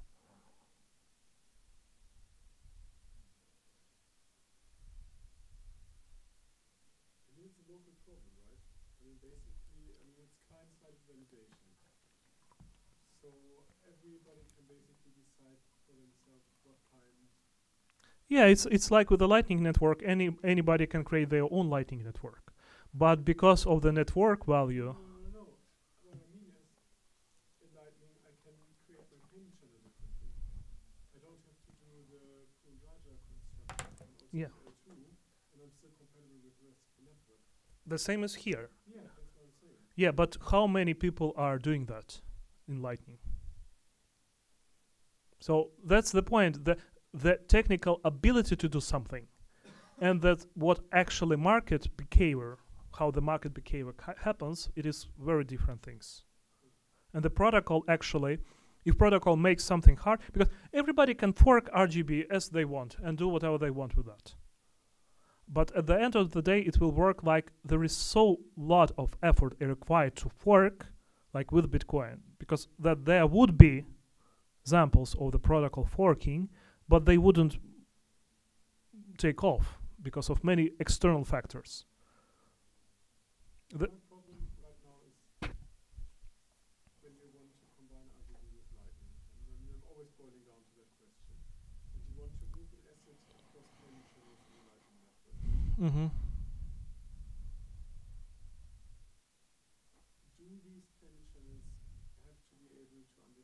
script? For sure.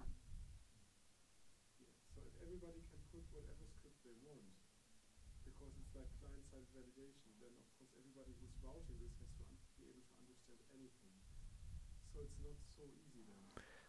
Mm. But what I'm saying is, is if you now have software that doesn't support simplicity yet, and then at some point in time do the upgrade, some assets are being created that use simplicity. You want to move this across Lightning, but half the software is not being updated. This asset is not working on You- this y- correctly or not? Yes, but you will utilize the same spectrum thing that I will be talking tomorrow as you will utilize. Even if you introduce RGB into Lightning and you're trying to do multi hop, you wouldn't find the path with a USD tether all across the route. So you use just two gateways. And the same will be for exactly the same for the, for the spectrum. But I will be explaining a schema right now and I need to differentiate some really strongly. I had I didn't made a slide for that yet because I just understood right now that it's have to be clear that we have three points of extension. The first point we have a protocol RGB. What we are working on right now, we are working on the protocol, and it, the protocol says that Genesis state may have a metadata which define the behavior of the uh, asset issued under the Genesis state. And that is the point of extension. Now, when we have a Genesis state, it can use its flexibility defined under the RGB protocol to uh, define a custom behavior for its own assets. But there will be also standards saying that if you would like to issue shares, here is the blueprint of the Genesis state. Replace the name and just use it because it's best practice. It's half corrected. And the most cases, all the companies who are issuing shares, uh, they will be just using it as a template. And then, if you need something really custom, like I need custom reputation system that does this complex script, I don't using this template. I define my own, and the meta fields.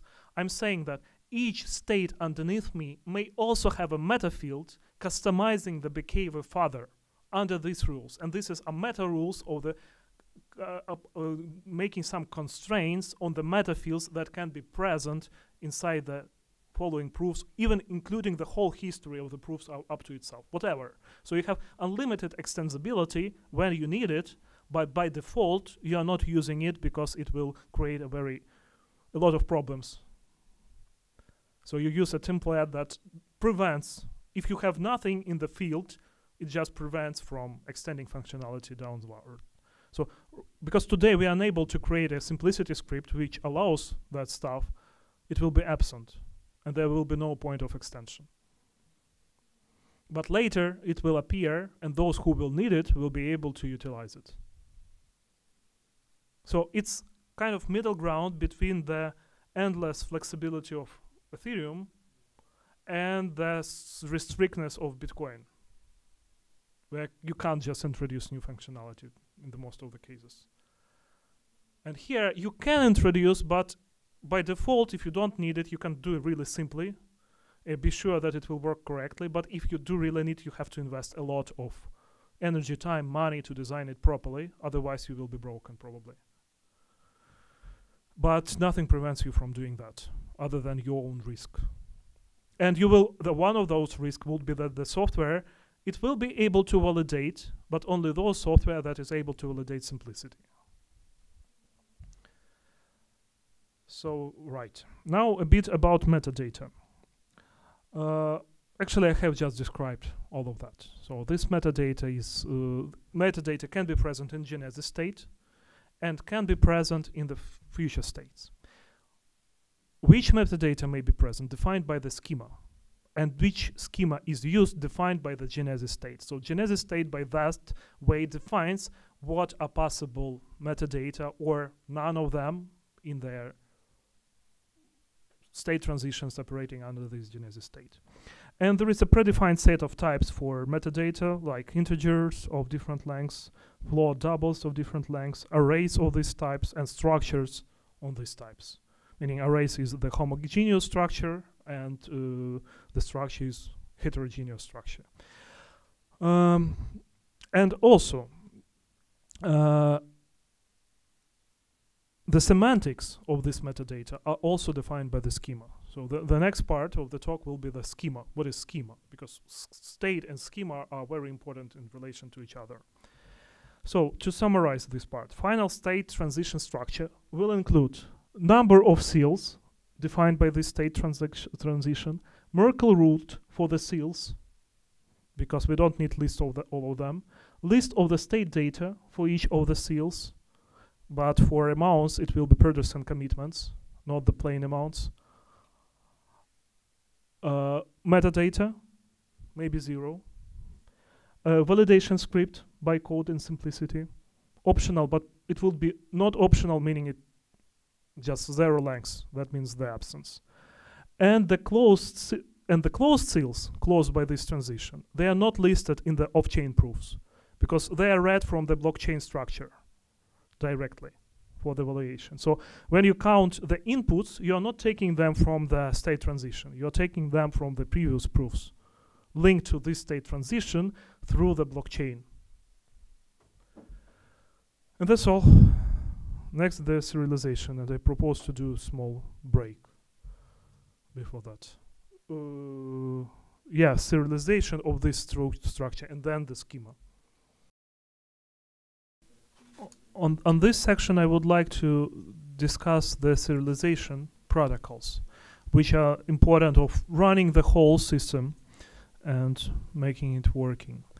So, before that, we were discussing which data should be kept in the commitment proofs, which we were mainly discussing yesterday, and in the state transitions, which we're discussing today. So we already have two off-chain data structure participating in client-side validation. Uh, commitment proofs, which are supplements to the information which we can extract from the transaction, and the state proofs. But we never said anything about how to keep them.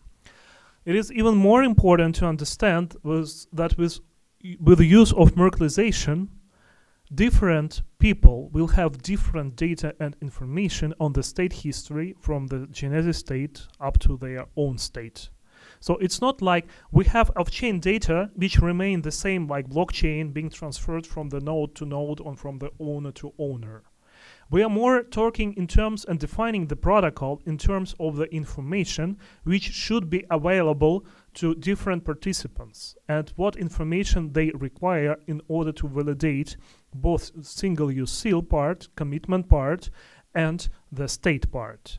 We have already defined that, and all the protocols we were discussing so far operate under this concept. They say nothing how to store that information, how to serialize this information, or should it be a single piece, multiple pieces, how it should be transferred between owners. And that would be a different set of the protocols. Uh, there is three types of serialization of serialization in this regard. The first one is the commitment serialization. It is very important because it is used to digest the original message with the hash function and to commit to it. And here, the byte order, the order of the fields is important because if you change the fields, the order of the fields, you will result. It will result in a different commitment, which will be invalid. So this must be standardized and fixed forever. The network serialization is a different thing. When you need to transfer something, first of all, you probably would not transfer all the data. You will transfer only those data which are required to verify the commitment and which are related to particular asset that you are transferring. And it is an agreement between two parties. It's not a global. It's not a protocol requiring global consensus on the actual byte order. And storage serialization, which is used to keep the actual off-chain data in an efficient way on disk. These are three different serialization algorithms. Why? Because of this. They have different requirements for trade-offs. So, I will find some pointer. No, I, I, I tried. No. So, uh, we need to understand which type of the standards should define each serialization type. Are they important for consensus, meaning all the members of the system reaching the same result? Uh, any change in these standards should it result would it result in hard fork or not? Do we need to optimize the serialization protocol for storage, for speed? Uh, should we? Uh, what is the potential attack surface for these protocols? And uh, make the single protocol cover multiple levels, layers of the RGB stack, which we were discussing, like uh, layers, because you can serialize at the same time in the same data structure commitments, state proofs, genesis state, and whatever. Or you can differentiate that in different pieces of serialized data.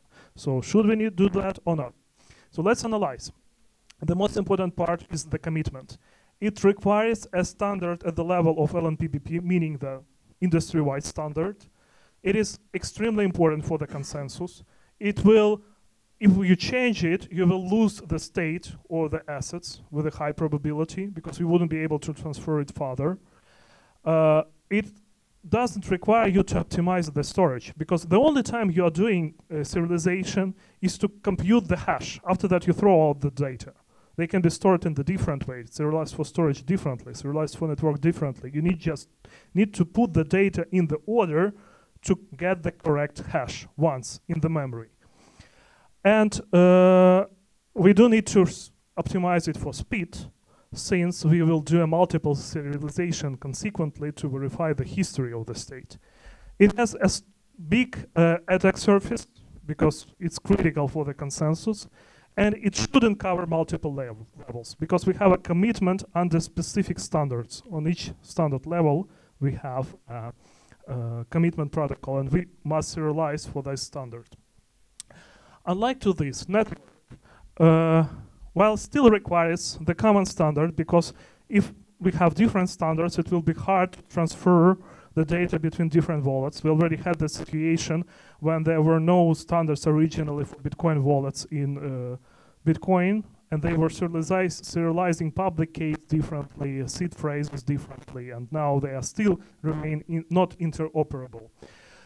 Uh, it is important for consensus, but not that much important. Uh, and it, if we change the standard, we will just get broken communication. You wouldn't lose your asset. You will still be able to transfer it further with the proper client. But in this particular case, the communication with a peer will be broken.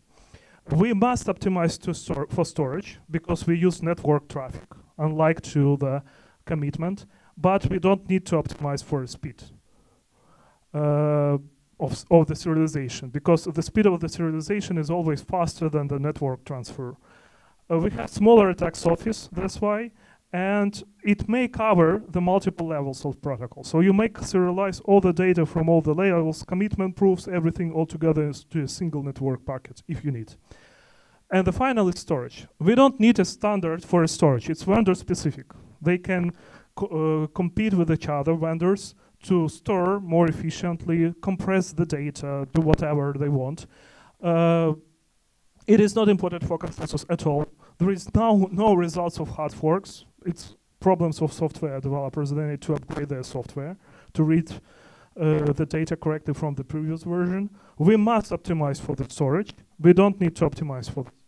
We have zero potential attack surface, well, undefined, I would say, and we don't care would it cover all the layers or just a single layer by level layer. So it's up to the vendor. Yeah.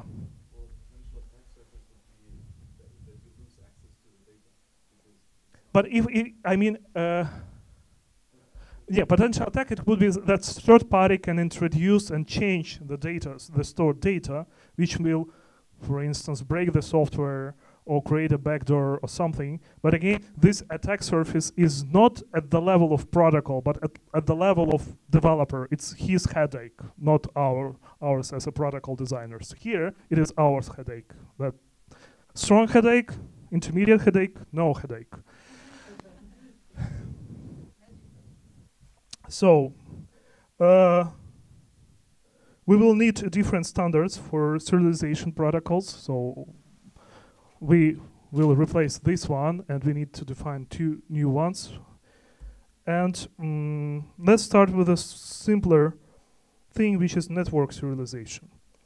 What we need to ser- to serialize?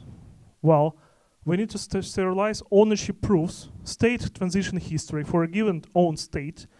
So when Alice needs to provide Bob with the proofs of her ownership of some state, she needs to serialize every the state from the Genesis state to this state owned by her. And um, how she will serialize that will be specific to the underlying network protocol.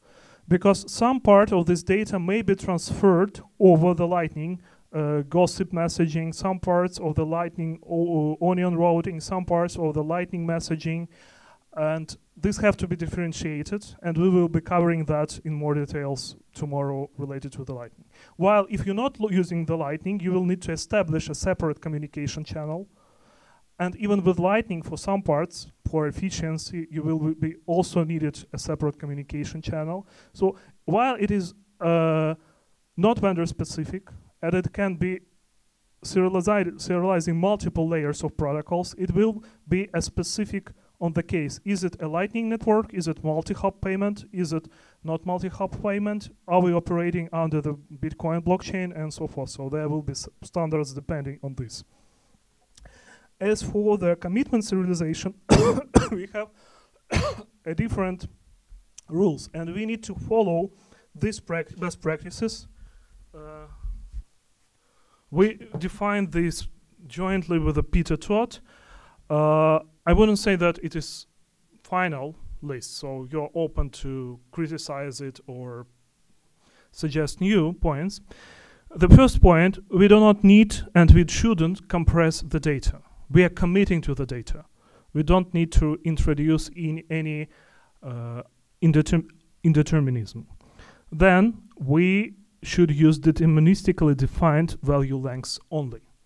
There should be no variable length parts at the serialization level, or at least we must in, uh, avoid it as possible, including the nested uh, hashing and nested commitments, like we were doing in the protocols that we were discussing. Uh, there should be no pointers, offsets, and shifts, meaning that we shouldn't say that, okay, in two bytes there will be the next that data structure. There should be no linked lists because they provide a strong uh, attack surface. Again, it's a separate topic. Uh, it's, it's, it's studied by Peter Todd, even under uh, some academic program, so I just trust him as a source of this knowledge. Uh, Merkle trees must also commit to the depth of each branch. Because otherwise, if you, if you Merkleize the seals, you can cheat on the number of seals. And you can provide, uh, you just don't know the depth of the Merkle tree. So you have to commit to the depth of the root and of the each branch. And in the type system, each branch should have specific type. Each branch at each level. So there is a type for branch level, like root branch, branch layer one, bla- branch layer two, branch layer three, and so forth. Uh, we must define bounds for each type validity. So if we use a 32 byte integer, but it shouldn't be more than a thousand uh, or 16 by 16 bit integer, but not more than a thousand, it should be part of the specification. That if it is more than the thousand, even before the commitment verification, the actual commitment is invalid. Uh, it is must be composed of the nested digests to prevent the zero length attack. If we don't have a public key for HMAC procedure, we just use the double the, the double hash. And uh, it must be prefixed with protocol-specific tags before the commitment wherever possible. We have already discussed that. And first 8 bytes might deterministically define the length of the committed data. So when we are creating a commitment, we put the length of the data to which we commit in the first 8 bytes, and we commit to the length of the data we are committing to as well, together with the actual message. Uh, well, that's why it is important to have a proper API, as we already discussed. It's not API for serialization, just example of proper API. Uh, now let's let's go how we can serialize the state and the other data to commit to. First of all, let's start with the state level of the state. First of all, we're serializing the number of seals. These first four bytes, probably eight bytes, as I just said, it should be eight bytes, so it's my mistake. Uh, define the length of the message. It's not the length of the data structure, but knowing because each seal have a fixed data structure. By knowing the number of the seals, we compute the length of the whole message. Uh, so every si- every structure inside the state serialization will be fixed size, uh, fixed length value, and um we will have a lot of space for optimization via batching and framing of the hashes. I mean, of the hash f- functions. So after the number of seals, we commit to the we serialize the Merkle root, 32 bytes of Merkle root, constructed through the Merkleization process out of each transaction ID, i- the out. I'm not showing the whole Merkle tree; it's quite clear. So, so this is a Merkle tree, not linear. No, it's Merkle tree. And Merkle tree with an asterisk. Asterisk means that uses tagged hashes like BIP taproot and commits to the branch depth. Just not a Merkle tree, but with the tagged hashes committing to, to the depth. And, and can the, the, the level of depth reveal some sensitive information? No. We already know how, how much uh, seals are there. We can't hide that information at all. Uh, then we are serializing state data, but we are not serializing the state data with committing to the state data. Even if the state data are Pedersen commitment, we are hashing it committing to the Pedersen commitment because it could be a byte string or some different lengths of the data. So we are type it, uh, the first byte defines the type. Is it a Pedersen commitment amount or a byte string? And then we have a byte sequence. Again, of known lengths. Uh, however, for byte string, we don't know length, so here we have no other option just to encode the length as at the beginning of the byte string. We do double hash to prevent length extension attack, and we do double tagged hash actually, not just a double hash. Uh, and with this tag, we also commit. I, I'm not sure that do we need to commit to the type here and here probably.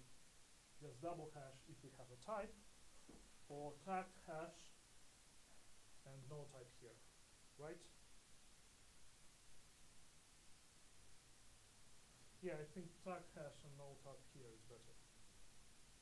Because first we co- convert this structure into fixed uh, fixed length structure and then attaching a fixed length tag and then hashing once again.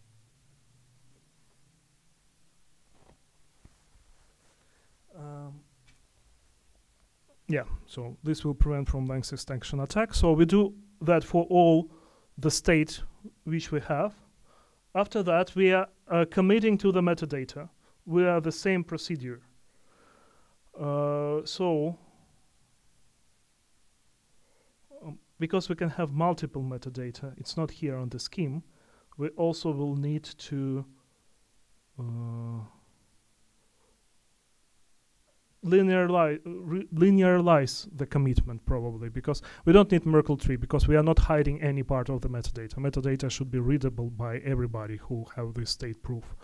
So I'm not sure that we need to Merkleize, but it will be probably easier in the terms of the commitment to Merkleize the metadata. How do you think? Because here we're Merkleizing for the privacy. Here there is no privacy considerations, but meta fields can be multiple. Should we Merkleize them or just put as a linear structure? Merkleization helps from the to to have a fixed length at the most of the stages. while with a linear structure, it have internal structure. So internal structure should be better to split into the commitments. So we commit first create commitments to each metadata field, and then we merkleize those commitments.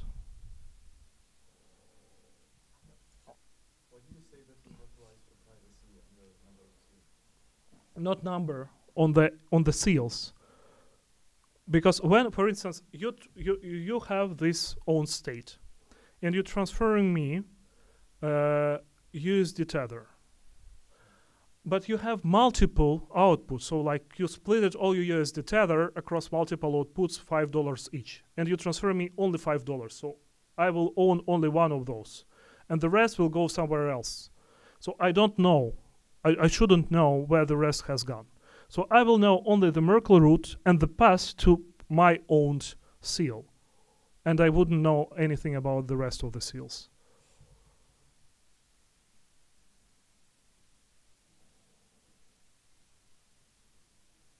And the metadata and state data, they are only relevant to the five US dollars worth. No, for uh, for uh, everything.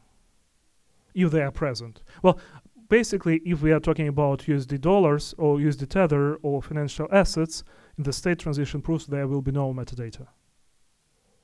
It, it would be just empty field, like zero. We will commit to the absence of metadata, so we still will be doing the hashing and committing that there is no metadata, but uh, it will be an empty one. But in some other cases, or in Genesis state, we have a number of fields. I will be naming them like ticker, asset name, total supply, maximum total supply, uh, and the point, fixed point. I mean decimal digit, because you can have like divisibility less than one. So you have a fixed length. Um, integer value for amount, but you can point where you put the floating point inside that. So I think that merkleization will be better here. You want to reveal only the maximum No- supply, but not the No, no, you should reveal everything under the protocol. But I mean, it's simpler from the point of view like you have five fields. You need to commit to each of them first, so just not to connectate them, which is bad pr- practice. So you, you create five hashes, and then you need to convert these five hashes into a single one. The best way to prevent length extension attack in such commitment just use Merkle tree. Because you by two of them, you're combining by two, and that's all. So Merkle tree is, seems to be better. And then we need to commit to the script. Here, no Merkle tree, just a single script field. Uh, and for now, it will be empty commitment, meaning committing to zero length script. That is for each state data from the field. Yes. And then that's part of this LNPBP-4, which we decide to rework on, but it was thought that there will be a number of such state transitions, Genesis state ID, which we are uh,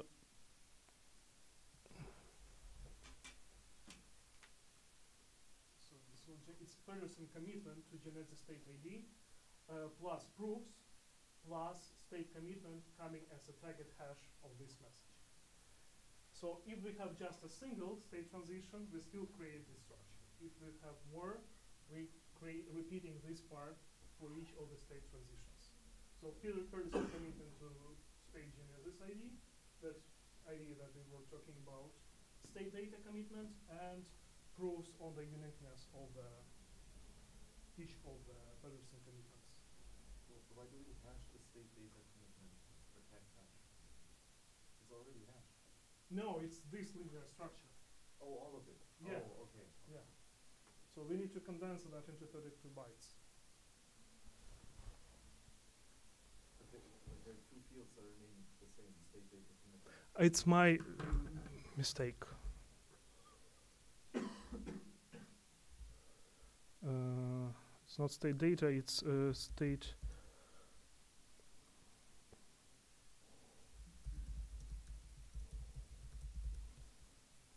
name it differently.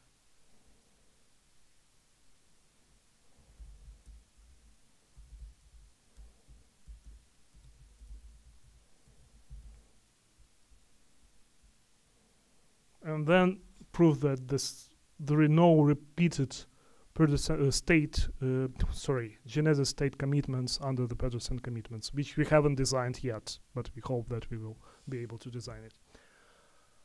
Uh, again, sorry, it's just broken. Yeah, we repeat this data as much as uh, uh, as we need, and finally we commit to this bulletproof for range proofs, which is not the case anymore. Again, and this one is a message for those protocols we were talking in the moment in the morning. So we use this as a message for this uh, public key tweaking procedure. After which we embed the public key into the script, script into transaction output, transaction input into the transaction. So it's like one, two, three, four, five, six, seven, at least seven layers of the protocol. So that's all. And the last part are schemata. Schemata define the types of the state transition because state transition may have different type. The types of the seals because seals can be of different type. I will showcase where it is important. It defines semantic for the state and simplicity script for validating the state. So that script that goes in genesis is actually part of the schema which is applied to each of the state. Uh, defines semantics for metadata and possible metadata field, defines uh, and references simplicity script modules.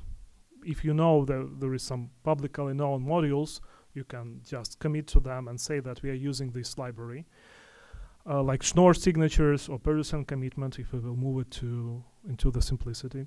It defines additional constraints on each type, on each state transition, like which seals the state transition may define, which state may be associated with each of the seals, which metadata are required, optional, and prohibited, which additional scripts and with which constraint may be defined by this particular, state transition.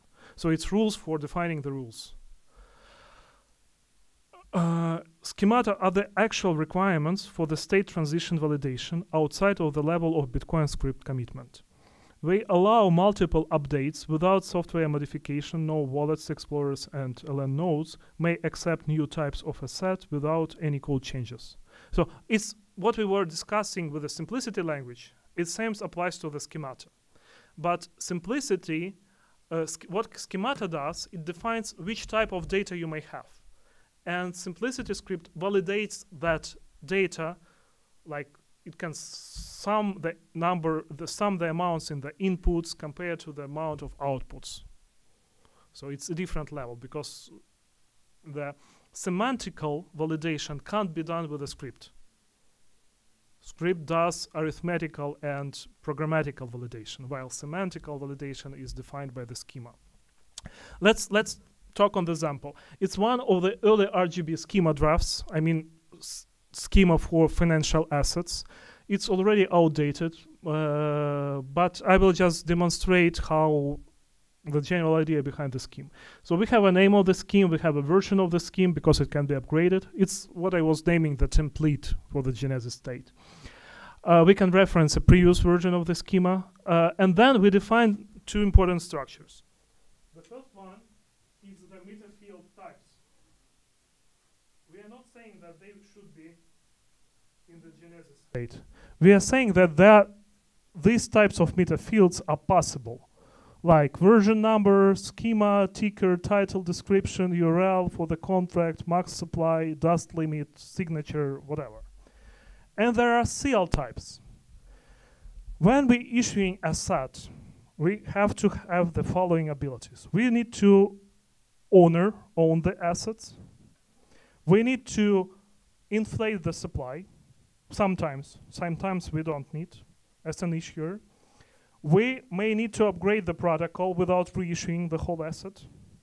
Actually, this is now can be removed from the schema with all those tagging and the abilities that we added to the protocol. And we can also prune the history as an issuer, meaning that, for instance, I'm Bitfinex issuing USD Tether. I'm defining some seal publicly in my Genesis state and saying whenever anybody would like to prune the history of the proofs, they can transfer assets to me. Because of zero knowledge, it practically wouldn't expose anything to me about their history. But I can issue, reissue no assets. You're already trusting me as an issuer. And the fact that I did the reissuance will be showed, shown by that I will spend this transaction output and I will define the next pruning output. So it's a different seal time comparing to the ownership seal. But it's not genesis, not genesis, because the idea of the asset remains the same. Because otherwise, wallets will need to add new IDs for each history pruning. So by that, we can, if we have a central issuer, we can reduce the size of a chain proofs from time to time, and they can aggregate dust transactions and do that stuff. So, but this is defined like it lists what are the possible fields and seals type. But now we need to make them interrelated. So we define which state transition types, here it's the proof types, but actually now we name it state transition types are possible. And these state transition types are primary issue, secondary issue, I mean inflation of the supply, and asset transfer. And for each of the proof types, we declare which fields are allowed in the metadata and which seals may be uh, defined by this state transition. But additionally to that, we, we say that is it an optional, many, or just a single? So when we issue asset, we must define at least one ownership address. So who owns the initial issuance of the asset? We also may define the inflation seal. If we don't define it, it means that no further inflation is possible. We also may define upgrade seal, here it's not needed, and pruning, single seal. We always must define it because at some point we will need to prune the history. Now you see, uh, it's not here, but basically, when you have a pruning seal, you have a pruning state transfer type, which also requires you to define the next pruning seal. So with the schema, you can, again, it's like in covenants, you declare the rules how you can create the graph of the state transitions with which properties of the state transitions.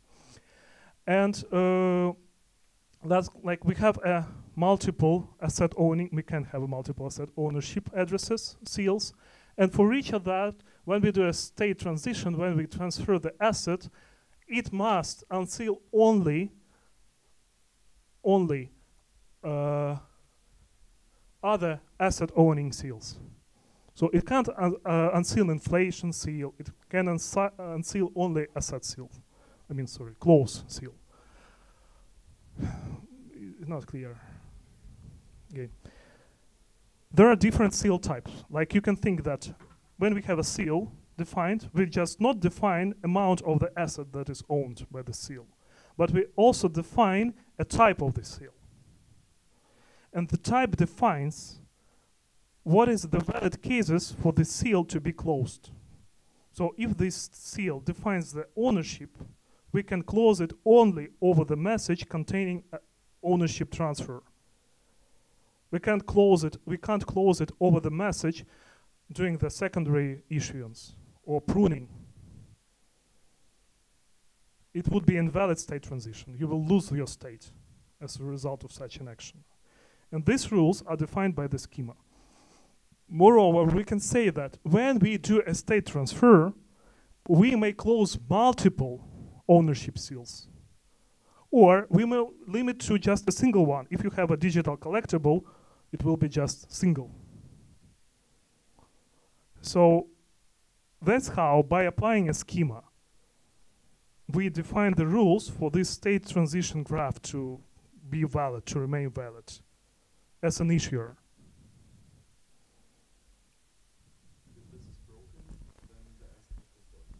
The. The state, yeah, the asset is destroyed, owned by the party that has broken the protocol.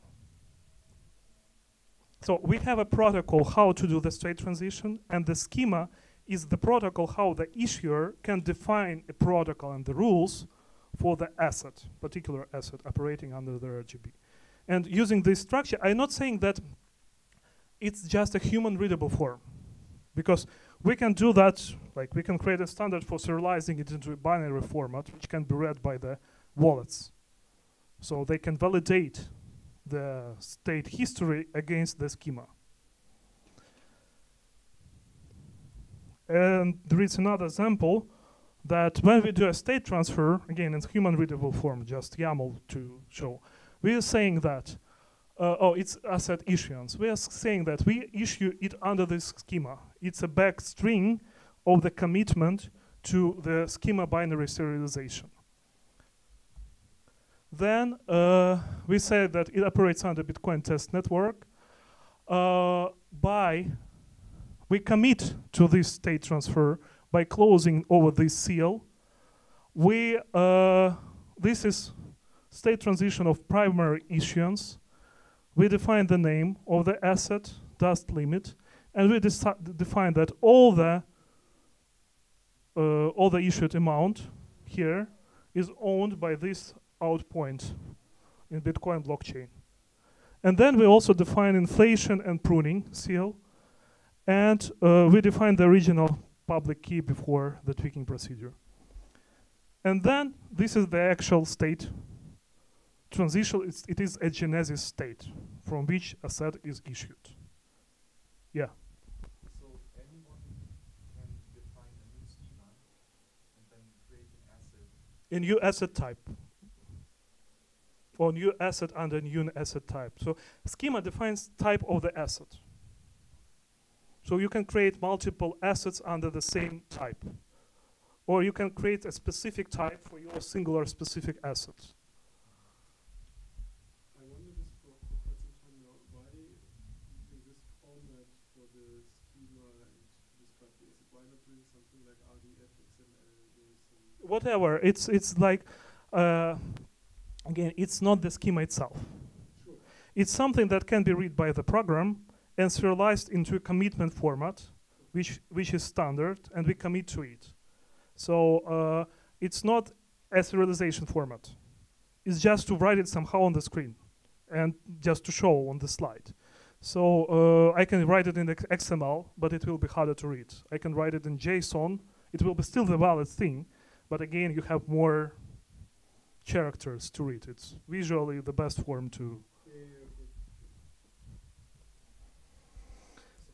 but I'm just totally confused. I, I could use the same schema SM1P to create apple shapes. Yes. Okay. But if I want to have digital collectible, it wouldn't fit your goal.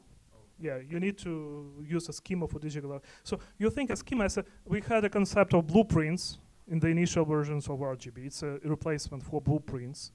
And uh, it's a strong addition to the scripting language because once again, the protocols defines rules for all. The schema defines semantics for the asset type or state type.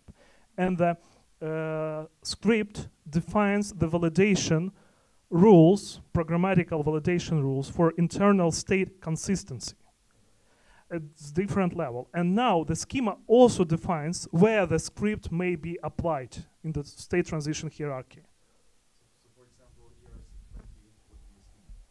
ERC20 would be a schema. ERC20, no direct, because ERC20 is a structure, uh, structure of smart contract. It's it's methods, it's a application binary interface into Ethereum network. So no parallel. But ERC20, like we need to define an amount. There is, should be a method for amount, and that's kind of yeah, it's it's kind of analogy of schema.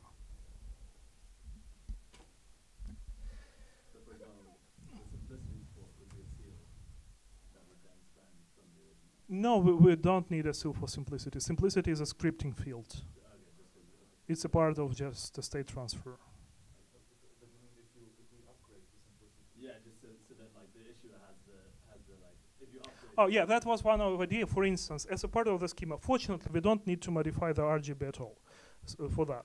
But you can uh, define a schema in which you say that there is a seal with which uh, issuer can signal something to the whole community. Like, let's do an upgrade. Now we are not against upgrading to this protocol. So the point is that how we move with the RGB creation. First, we create a protocol level standards. And after that, we don't need to modify the protocol. We do we can do all we need with the schema.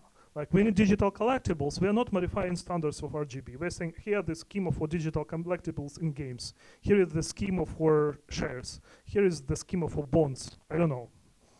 It's it's also standards, but not they are not at the level of LNPBP like industry-wide standards. It's just template. And then we can further elaborate on that when with the introduction of simplicity. We can create under this schema a very complex reputational system and do nothing again on the level of protocols. They are defined once and forever. So that's why the most of the effort right now is spent on defining the protocols for RGB, not the schema. We just define that there is possible schema and it can do this and that. But we are not spending time on defining how to commit to it, serialize it in committable way for storage or something. We will move to it after the design of RGB. But the general, the last slide for today, uh, the client-side validated uh, state validation process runs as follows. First of all, we ensure the correctness of the genesis state. How we do that? We trust the issuer. If we know that USDT is issued by Bitfinex, we are going to Bitfinex. Bit site is asking genesis state for USDT. We're getting this state. And we check the state ID with what we received in our wallet. And we also, under this genesis state, we see the schema and we use the schema for further validation. Then, for each state transition in the history, right from this genesis state, we do the following. We check commitment validity on four levels. This multi-message commitment, transaction commitment, script commitment, and public key tweak. So we tweak, check the commitment structure of each state transition. Then we check that the closed single-use seals, uh, we check the closed single-use seals validity and validity of the related state transitions. So the graph structure. Then we check uh, that the single seals we define, if it is the on state, the last on state, are not yet closed. I mean, the transaction output are not yet spent. Because if we define new on state, we can attach them only to unspent transaction output. Then we check the validity of the new state according to its internal rooms, rules, including simplicity and script. And then we check the validity of the state transition according to the schema. That it has correct inputs, correct outputs, types of state, metadata, and script constraints. And we do the same procedure for each state transition. So Bitcoin blockchain, actually, uh, commitment level, transaction level, schema level and script level from genesis state. And we, what script, what schema is defined by genesis state, what script is defined by the schema and the state transition, if it is allowed under the schema. That's the overall structure of this client validated state. So fortunately tomorrow we can finally apply all of this to Lightning Network.